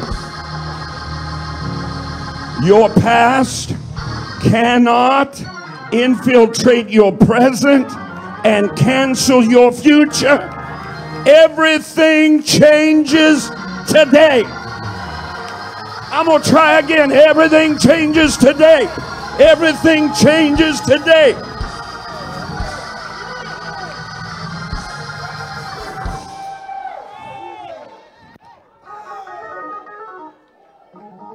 So 18 years ago, how long? 18 years ago. What is this year? 2018. A transition which you are in because I have brought you there. You're going to have to go left or right. You can't come in here next Sunday like you came in today. That will not happen. Now, I don't know which way you're going.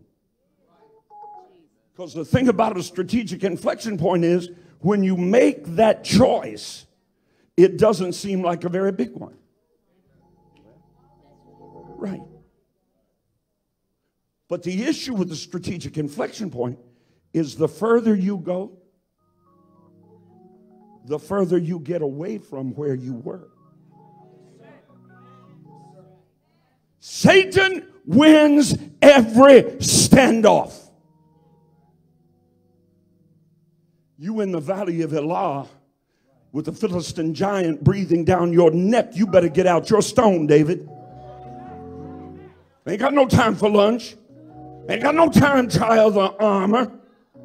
Get out there. The cold will get colder. The hot will get hotter. There will be not a lukewarm one among you.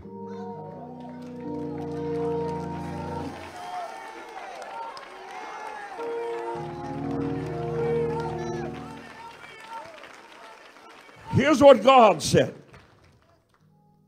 I would that you were hot or cold. Problem with the modern church? Ain't nobody saying it. Modern church thinks it's all about being, uh, what is it, Manny? And what is it? Being, uh, huh? Relevant. Relevant. They want to be relevant with their skinny jeans. Now, look, I have nothing against skinny jeans. And when I lose about 40 pounds, I'm going to try me some. But some preachers ought to realize one size fit everybody except you. That ain't for you. Got a head as big as a bucket and little skinny jeans and no socks and pointed toes. You Look like a fool.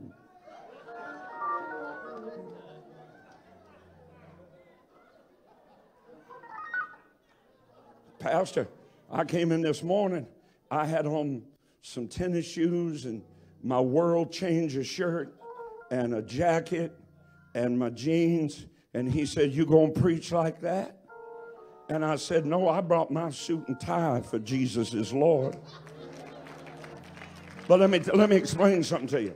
It wouldn't matter if I preached in a jogging suit. The anointing or the lack thereof do not depend on my clothes or whether you got a smoke machine or you got a TV screen or you got a nothing. You can build a church next door to hell if you got the oil, if you got the anointing, if you got the spirit. I'd rather be a part of a revolutionary church than a relevant one. A relevant church is we don't even know what we're talking about. A relevant church means to be connected to the issue.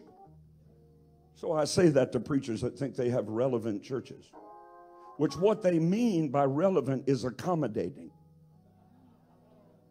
If a homosexual is comfortable in your church, that's not a church.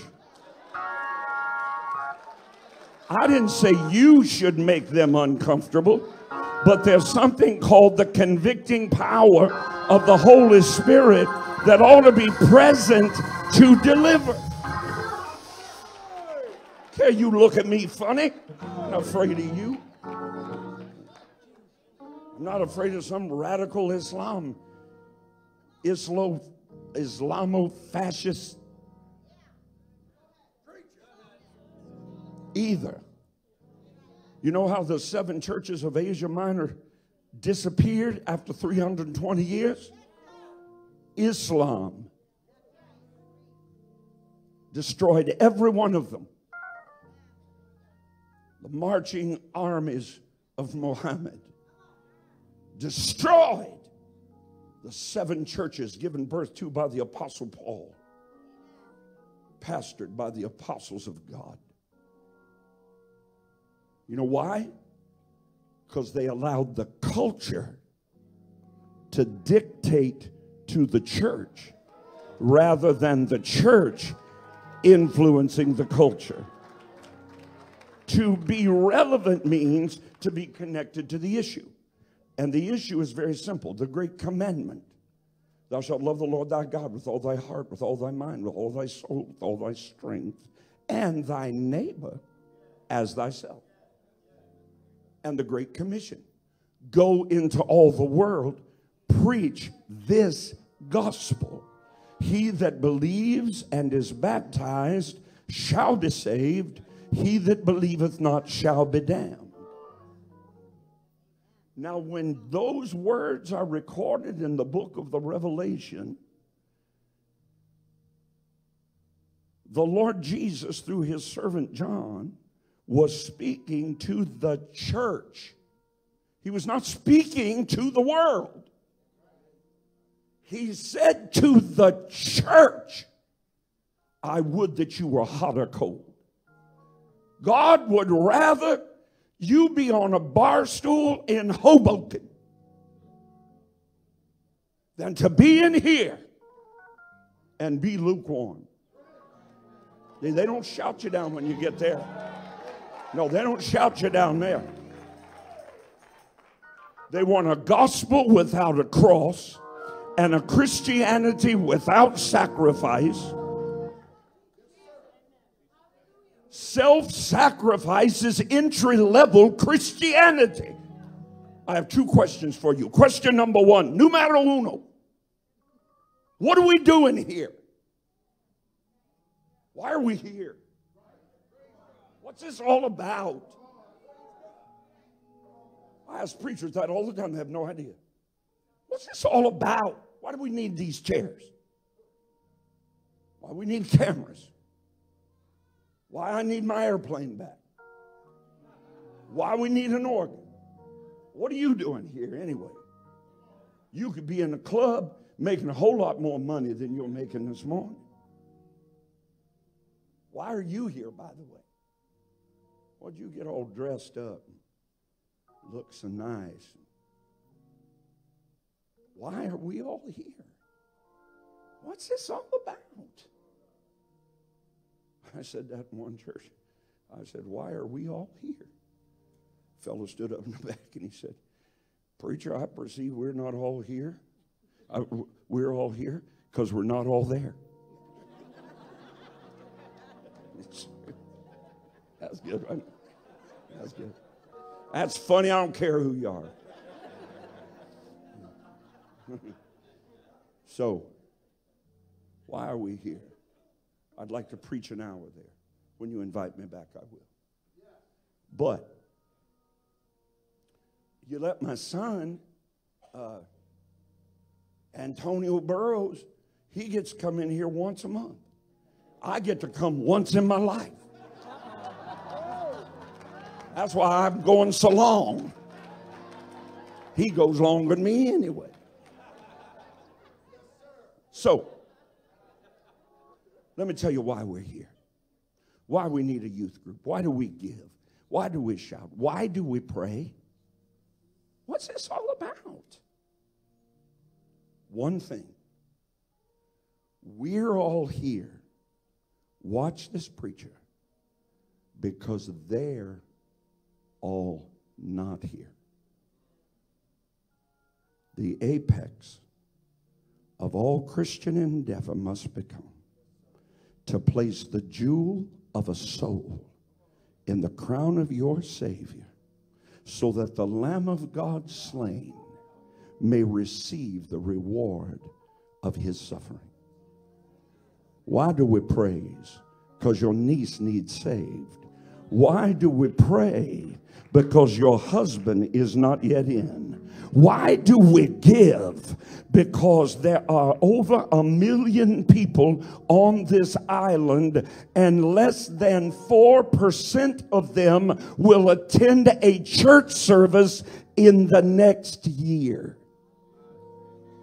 Why are we here? Where's our go? Why did God give you that beamer, that Mercedes, that Tesla? I was in a Tesla the other day. That's the craziest thing I ever saw in my life. It's a car that has no engine. It's just a computer. Fastest car on the open market today. Runs on batteries. Isn't that crazy? Anyway, so we're here. Now, watch this because we're going to take our temperature for a minute. Be easy now, it won't hurt. We're going to take our temperature. Why is your family still lost?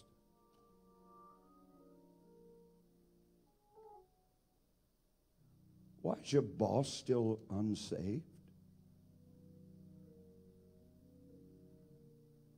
We live in a generation of the advocation of personal responsibility. It's somebody else's responsibility. I would that you were hot or cold. If you're lukewarm, I will, I'm not going to say it graphically the way it translates, but just watch the illustration. I will spew you out of my mouth. What does that mean? It means lukewarm Christians make God sick.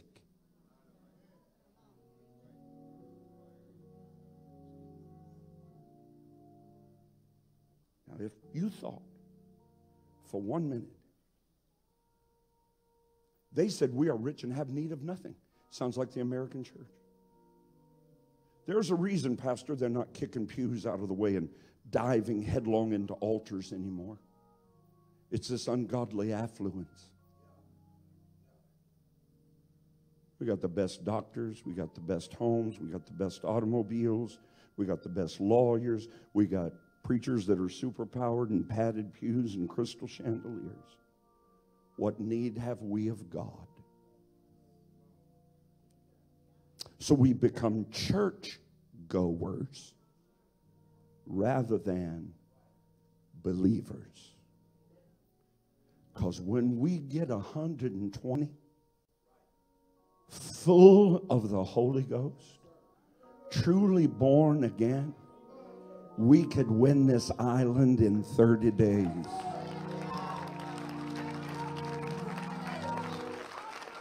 So why not?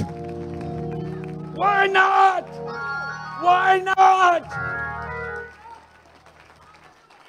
Be seated. That's why we're here. Secondly, what is revival? What is revival? Everybody prays for revival. You send us revival. Let me tell you what revival is not. Revival is not miracle signs and wonders. That's not revival. It's wonderful. And if you've got a preached word without confirmation to it, you don't have the gospel. I, they brought me a young boy just born. He was four or five weeks old. He had hydrocephaly, hydroencephaly his skull was bigger than his shoulders. He had a brain stem, but no cerebellum.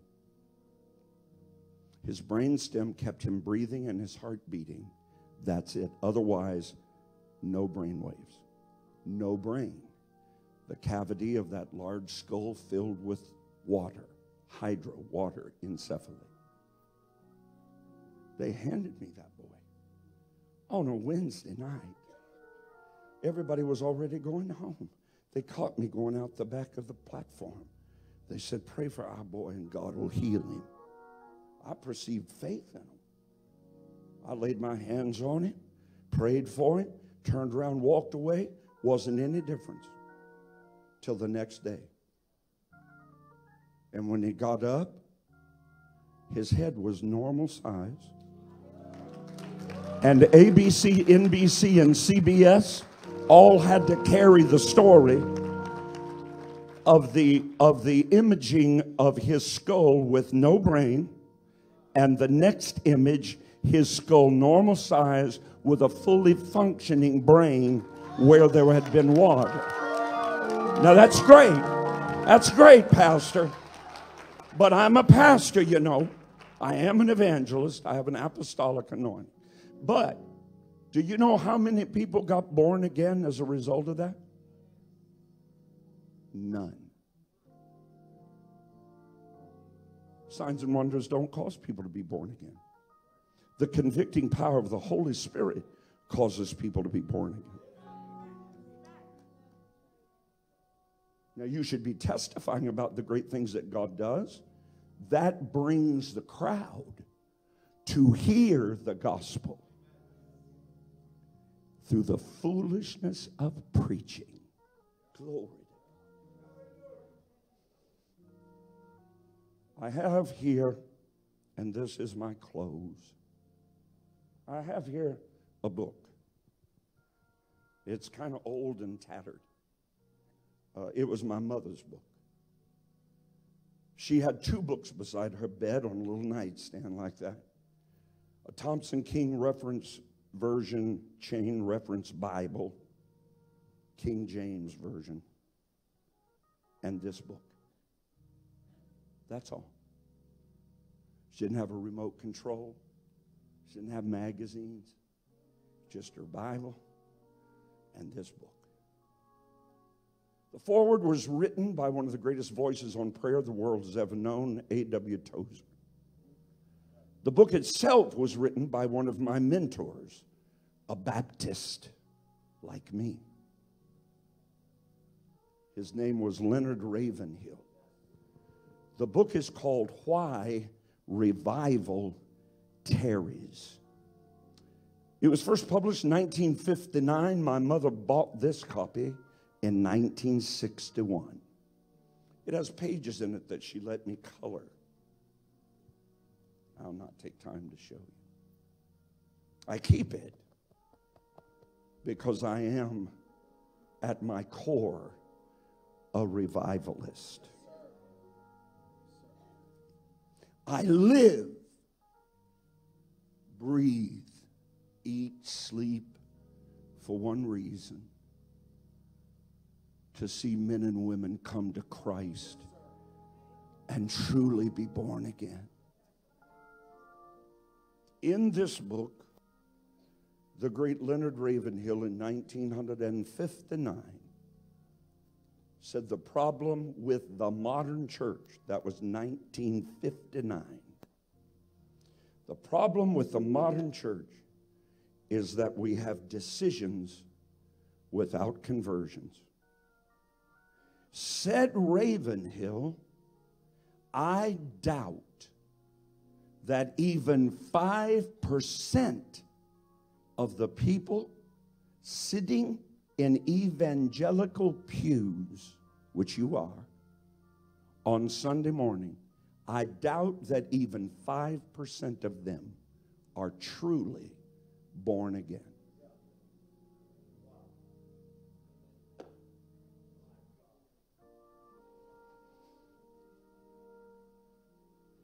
In the last six meetings that I've had, two thirds of every person in the building, including preachers, choir members, deacons, elders, ushers, came to Christ to truly be born again. We have become professional churchgoers. What does that mean? That means we come in, we make a decision. Yes, I believe God has a wonderful plan for my life. And then we pray a little prayer and off they go. And then we start following up on them. I got born again when I was eight years of age. No one ever sent me a letter. No one sent me an email. No one knocked on my door. No one did anything. At eight years of age, I searched the Columbus newspaper for revival meetings and would ask my mom and dad to take me. Why? I got what the Bible said. I became a new creature. Everything passed away, Pastor. Everything became new. Nobody had to teach me. Stand up, bro. Stand up. Isn't this a man? I'm telling you, if I had this guy's stature, I could preach. but look at him. You love me? Yes, I've been following you a long time. You've been following me a long time. Well, I love you too. I left a voicemail on you. You left me a voicemail. Yes. Do you know what? I genuinely love him. Now, I don't care whether he a Democrat, a Republican, an independent, or a nothing. I don't care. I love him. And you can't make me not love him. And you can't make me have to try to love him. Because I don't have to try to love him. And he doesn't have to try to love me. And we did not go to the racial reconciliation seminar. We became new creatures.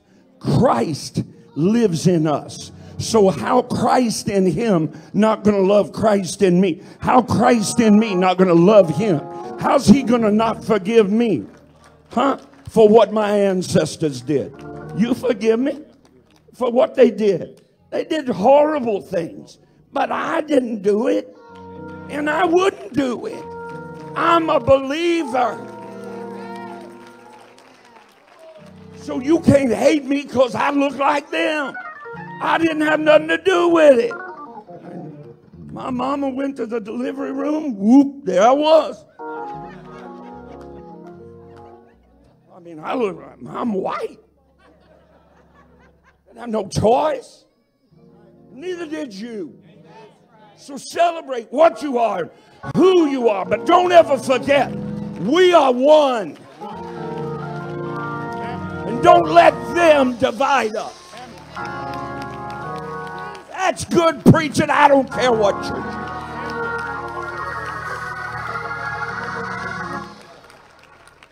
People ask me all the time, aren't you tempted to drink? Preachers ask me. Tempted to drink? Yeah, you preach so hard, you back that hotel. Don't you want one of those little bottles of whiskey they got in the room? I said, no more than I want a big swig of gasoline. I don't. But yeah, but aren't you tempted? No. Temptation, when habitually kept at a distance, ceases to exist. Tweet that. I'm not tempted.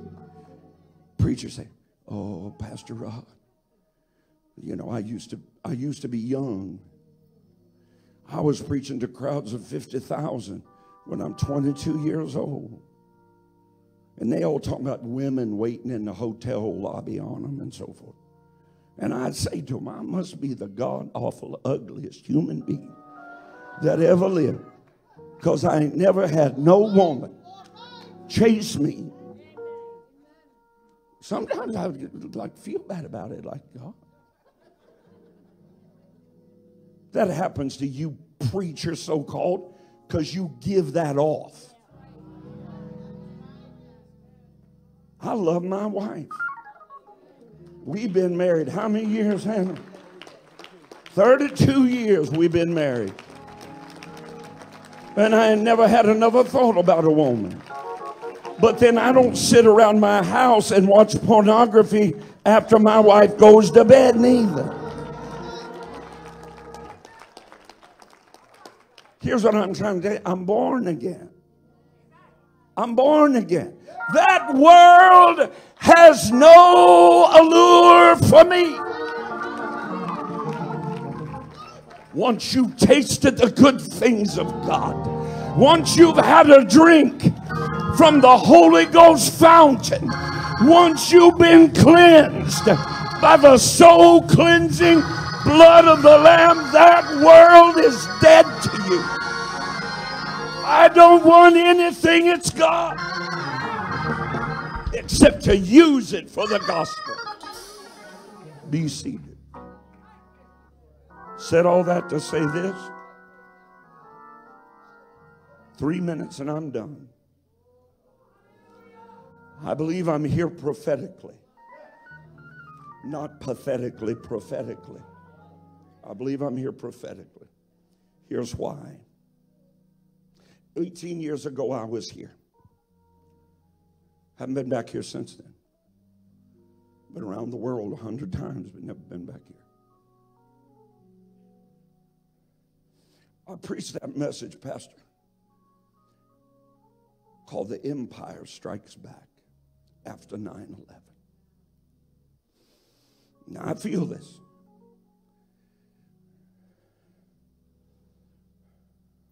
I have two purposes in the earth after I became 60. Only two. Find young men like this and pour everything that's inside me into them for the next portion of my life, however long that may be. That's my purpose. Could I have found a place to preach today that would have many, many, many more people? Yeah. But I didn't want to preach to them. I wanted to preach to you. And, and, and I'm, not, I'm not, please understand why. The reason is because you are a remnant. You're not relevant, thank God, but you are revolutionary.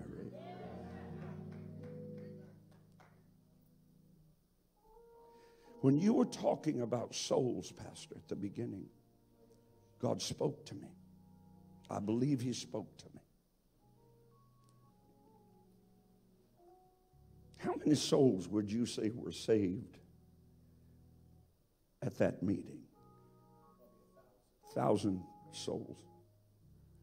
It looked good in here with a thousand more on fire people on Sunday morning.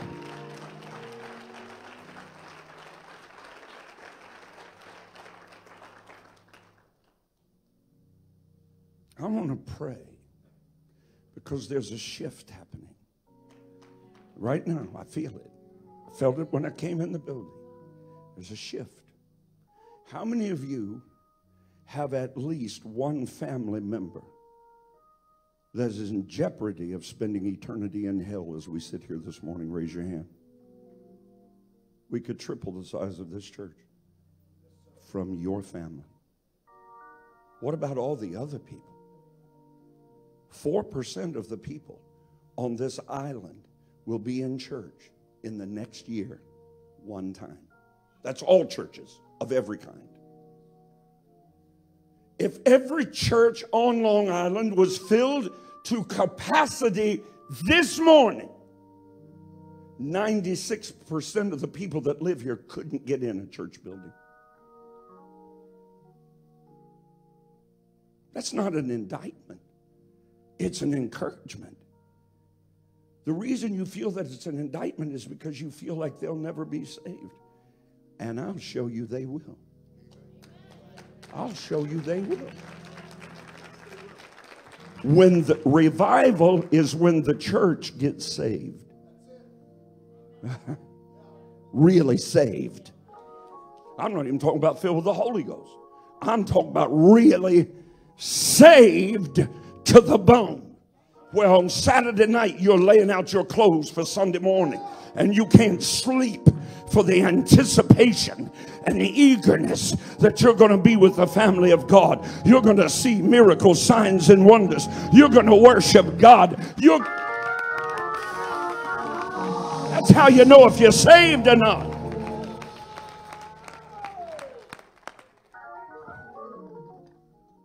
So 18. 18, right? 18, 2018. It will soon be 18 years since I was here. Jesus was in the temple, and his mom and daddy lost him. Like, you know, lost him like at Coney Island. Is there still Coney Island? People lose their kids there, I bet. They lost Jesus in the temple. How old was he? He was 12. You never hear another word about Jesus for the next 18 years until he's strolling over a hill and John the Baptist says, Behold the Lamb of God that takes away the sin of the world. I'd love to be the John the Baptist for this island. I'd love for them to have heard nothing from me for 18 years and allow me to come back and say, Behold, the Lamb of God. I'd love to, I'd love to hold a soul winning crusade and win a thousand people to Jesus. I thought I had an agreeing church.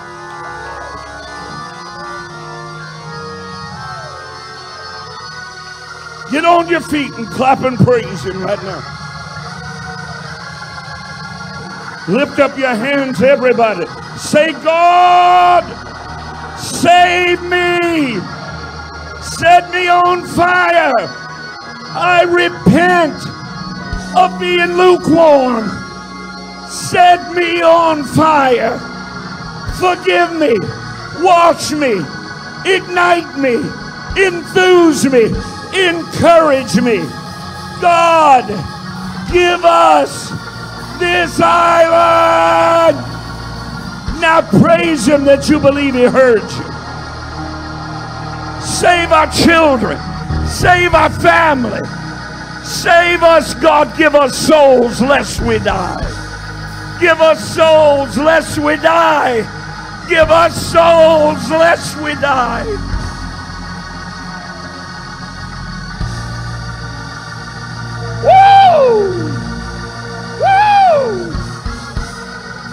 Dance like you're going to dance when your family gets saved.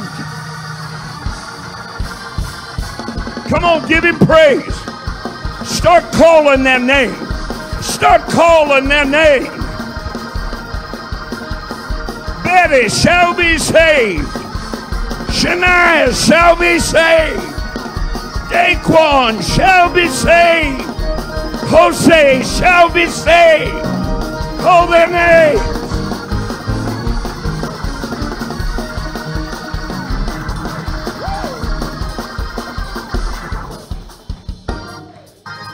Okay, be seated.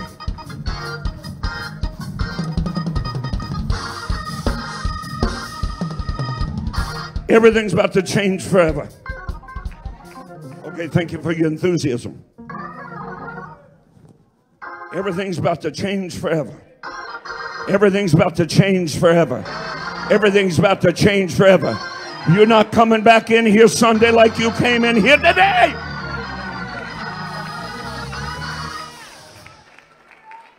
Everybody just do this for me. Be seated, put a finger up in the air. Put a finger up in the air. And just do this. One time. One time. Now say, turn around.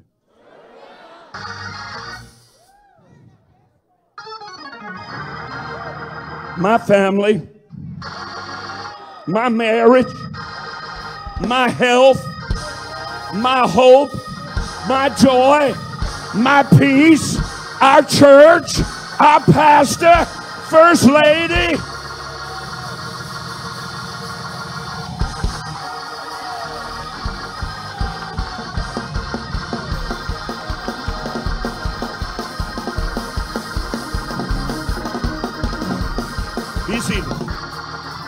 Trying so hard to hurry. Can I have a drink of water? I'm trying right here, son. Yeah, anyone, it don't matter. Long as it's wet.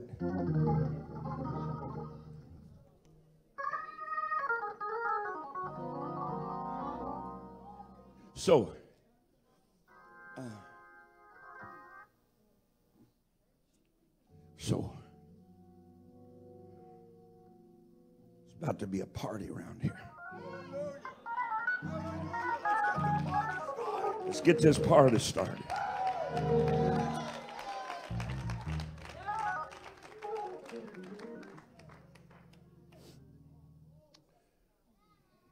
Your giant is about to fall. That's not the shouting part.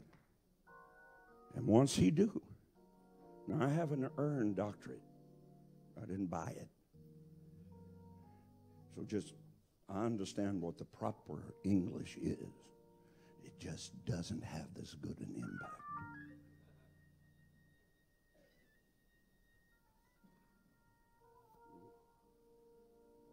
I'll come and teach sometime what actually happens when you do that. Because unless you have the revelation of it, you don't understand. Music is not a prelude to preaching. If God could adjust their eyes, they could see music. It travels on the same electromagnetic wavelengths, sound as sight, as light. So when you play, light goes forth. Silence is the language of defeat.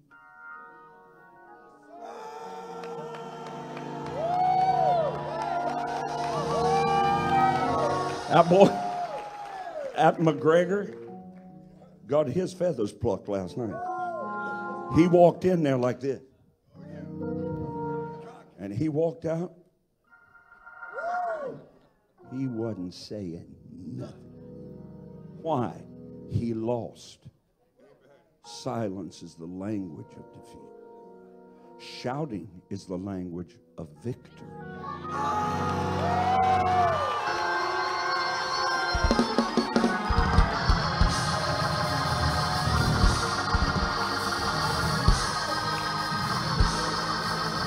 My shout's changing. My praise is turning around. Woo!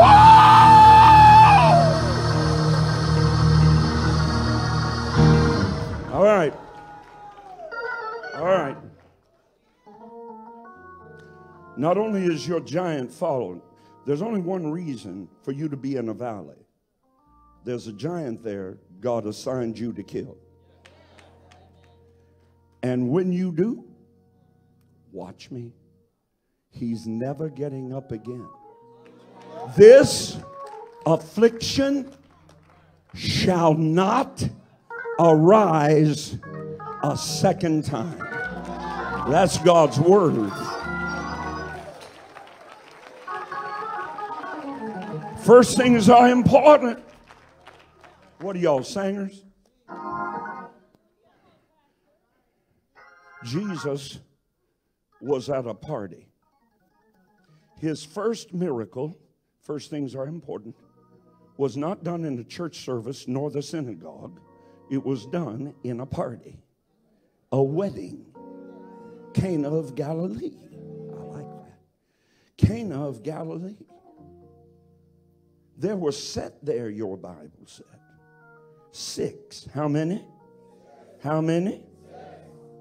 Six water pots of stone. after the manner of the purifying of the Jews. And when they had well drank, both Jesus and his mother and his disciples were called to be at the wedding. And when they had run out of wine, Jesus, Mary, saith to Jesus, Lord, they have no wine. Now you know Jesus was anointed because he looked at Mary, what brought him in the world, and said, Woman,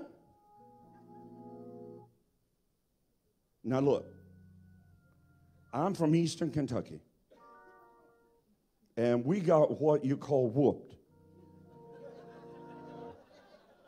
No, no, not like white people think about whooped. We got wood. My mom walk you through the house, one word and whack at a time. I told you.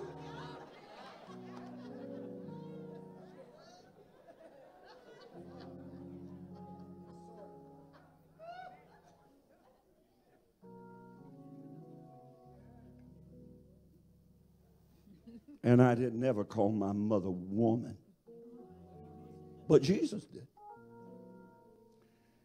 He said, My time is not yet. And it wasn't. Her faith changed the trajectory of his ministry on earth because she said, Whatever he says to you, he hadn't said he was going to say anything. Whatever he says to you, Nike didn't coin this, just do it. So Jesus said, Bring me those water pots. Fill them up to the brim. Six of them, containing 30 gallon apiece. What's three times six? Oh, oh, 18. What's six times 30? 180.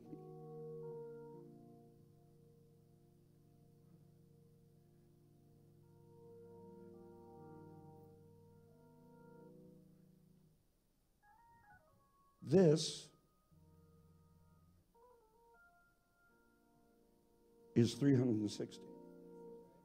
That's a turnaround you don't want. Because you end up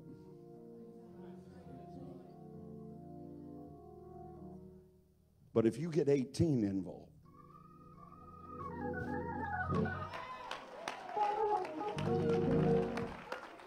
I said if you get 18 involved, then you don't get this. You get this. Whatever way you were going, you can't go that way no more. Whatever devil was fighting you falls and don't ever get up again. Watch me. The miracle was not that the water was made wine. The miracle was once it was made wine, it never went back to water again. That's a turnaround. I'm telling you, that's a turnaround. Do you need a turnaround? Come on. Does this island need a turnaround? Does your family need a turnaround? Do your finances need a turnaround? Then shout now.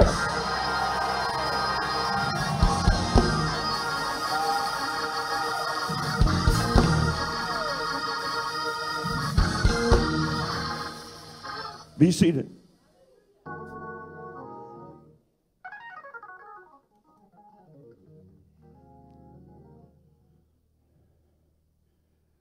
Now, I've already sold a thousand dollars, but I want somebody to sow for their family. How could you really sleep tonight if you saw your family on their way to hell and nothing to do about it? Nobody talks about eternity anymore. Nobody talks about heaven. Nobody talks about hell. It's always your, your best life now. He's a friend of mine. But I told him, I said, if this is my best life, that don't say much for heaven. I'm going to heaven, man. You need a turnaround. And I'm believing God for every single person who is of a willing heart. That's not for me. Every single person who is of a willing heart to truly mark this moment as your turnaround. This is it. I'm never coming in here like I came. I'm never going to work like I went last week. I'm never praising like I've always praised. No, something has turned around. You need a financial turnaround? God delivers with the power of a seed. So I'm going to encourage every one of you. Pastor didn't ask me to do this. I'm going to ask every one of you of a willing heart to sow a $180 seed for a turnaround. A $180 seed. You say, Pastor Rod, I can't. Probably you just won't.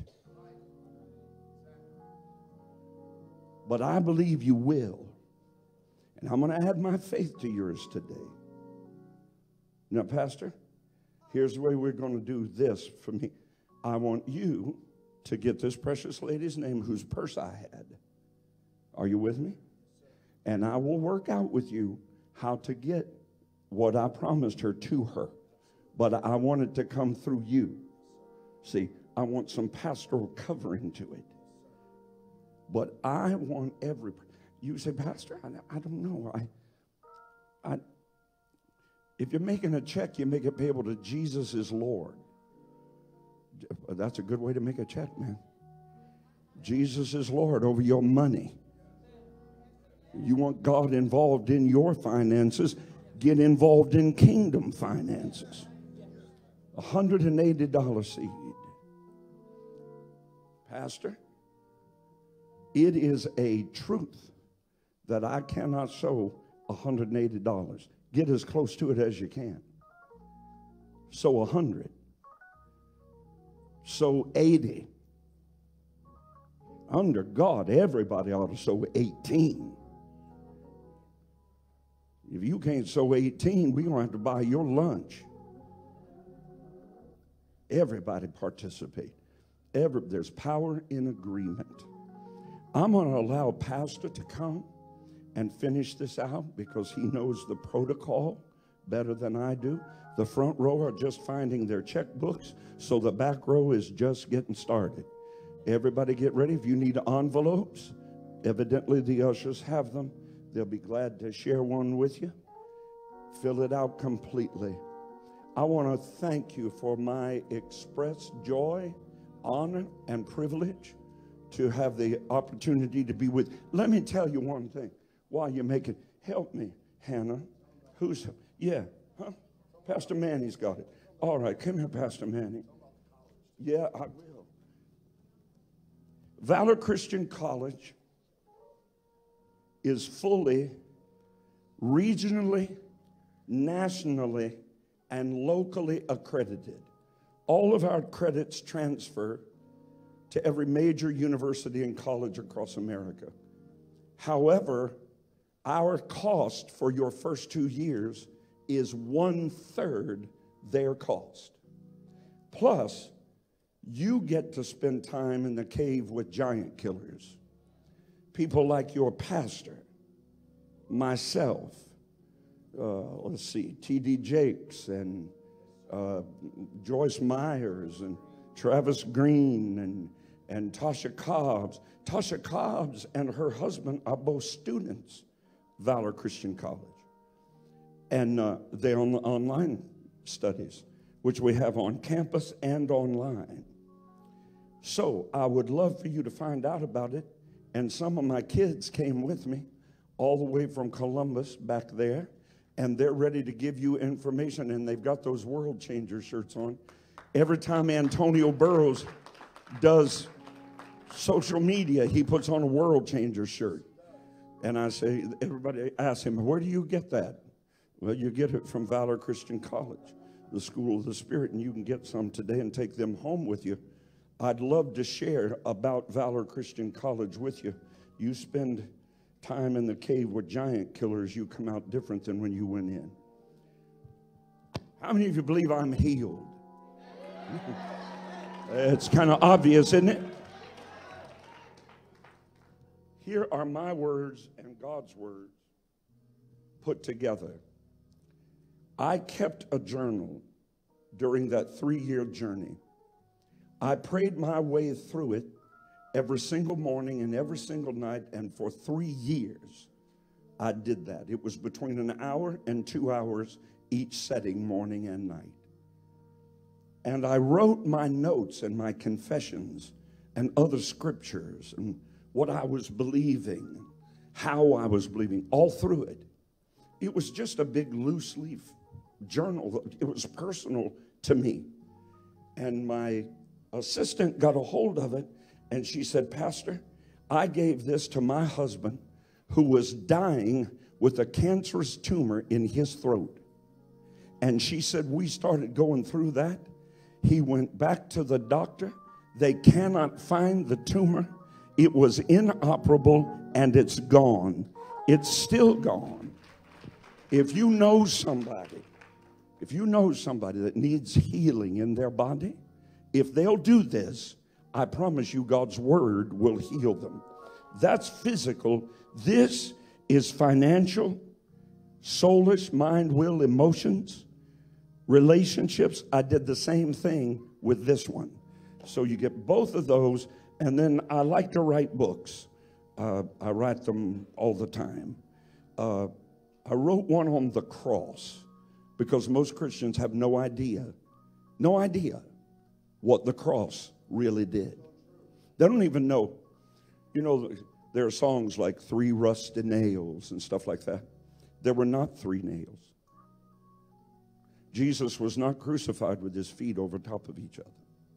There's only one historical piece of evidence, archaeological, scientific evidence, that anyone was ever crucified in Palestine. One. I tell you what it was, I tell you what it reveals. If you want to know what the cross did for you, you need this book. And since I wrote about his crucifixion, I thought I better write about his resurrection. So I wrote Gone, One Man, One Tomb, One Sunday. It's all about how you can have resurrection power in your life. And then, since I wrote about his crucifixion and resurrection, I thought I better write one about his second coming and the rapture of the church. It's called the finale one world, one ruler, one reign. Nobody preaches end time prophecy anymore. The church is ignorant of it. The book of Revelation is not a book of gloom and doom, it's the most powerfully exalting, rejoicing book in your Bible. And it's the easiest of the books to understand. I give you the keys to understand it. You'll go right through it, and you will become an authority on the rapture and the second coming of Christ, which you need to be. So it's all half price.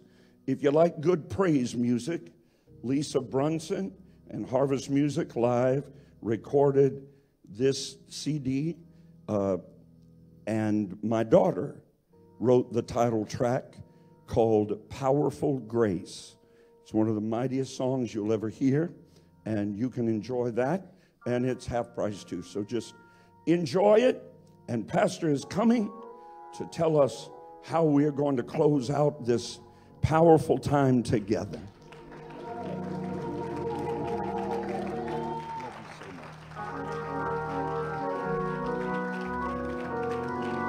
Come on, stand on your feet, put your hands together, and show Pastor Parsley how much you love him.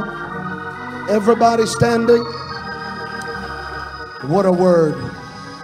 What an anointing. How many of you been changed? Lift your hand high if you've been changed. I want you to come, everyone, clear every aisle, bring your seed. As you're sowing your seed, wrap faith and expectation around it. The proof of your love for God is found in your giving. Everyone should be coming with that seed. Your seed is unlocking your turnaround. I said, Your seed is unlocking your turnaround. I want to challenge every one of you before you leave. Go back there, find out more about Valor Christian College, the School of the Spirit. Also, as you're going back there, there is product back there as well. I want every one of you to hear me. Every one of you hear me for a moment. How many of you will vow today before God that you can continue daily to uphold Pastor Parsley before the Lord as you go before the throne room? Raise your hand. You're going to pray for him. Lift your hand. I want you to pray for him like you've never prayed for him. Stand with him like you've never stood with him before. How many of you know every one of us have been transformed today as a result of this life changing word? Lift your hand if you've been changed. Now we're not coming back tomorrow night the way we came in today. You heard the prophet of God that everything has changed. There's been a transformation. How many of you believe there's been a dramatic sudden change in your life? I want you, amen, as we come back tomorrow night, as we come to pray for people. We're praying on Miracle Monday. There is a, a, a, a, phone that we put on the pulpit, and we do Facebook Live, and people are literally calling Brother Hines from around the world people that need miracles, people that need deliverance, people that are believing for family restoration and salvation. We're praying for people live right here on Miracle Monday. If you've never tuned in, you need to tune in. I want to challenge you to help us take the gospel around the world. I want to thank every one of you that are partnering with me with Empowered today. We love each and every one of you. Thank you for your partnership. Please do not leave without buying every product that is back there on the table. One more time, give God praise for the ministry, the apostolic ministry of prophet, pastor, evangelist Rod Parsley. He'll be back with us again very soon. I promise you that. We're gearing up as well for great things that are upcoming. This coming Friday, I'm going to be with legendary Morris Cerullo in New York as well. Christine is going to come in a few moments with all of the announcements. There is no fellowship today in the back because me and Pastor Parsley are getting ready to do some promotions for the church and for Empower today in our brand new HD studio. Support, amen. Support Pastor Parsley. Partner with his ministry. Partner with my ministry because together we're changing the world one soul at a time. I challenge every one of you to be here tomorrow night, Thursday night, for our midweek empowered hour service, and then back again Sunday morning, 11 a.m. How many of you are bringing your family into the kingdom this year? That's what your seed is all about. Shout, my family will be saved. Shout it out, my loved ones will be delivered. Shout it out, my family will be saved. Shout it out, my loved ones will be delivered by the end of this year. If you believe it, give them a mighty shout of praise in this house. Come on, open up your mouth and give God a praise in this place. Thank you for coming. Thank you for supporting. Thank you for sharing the word. Thank you for inviting souls to come. We love each and every one of you. Welcome, Christina, as she shares these announcements. We have so many exciting.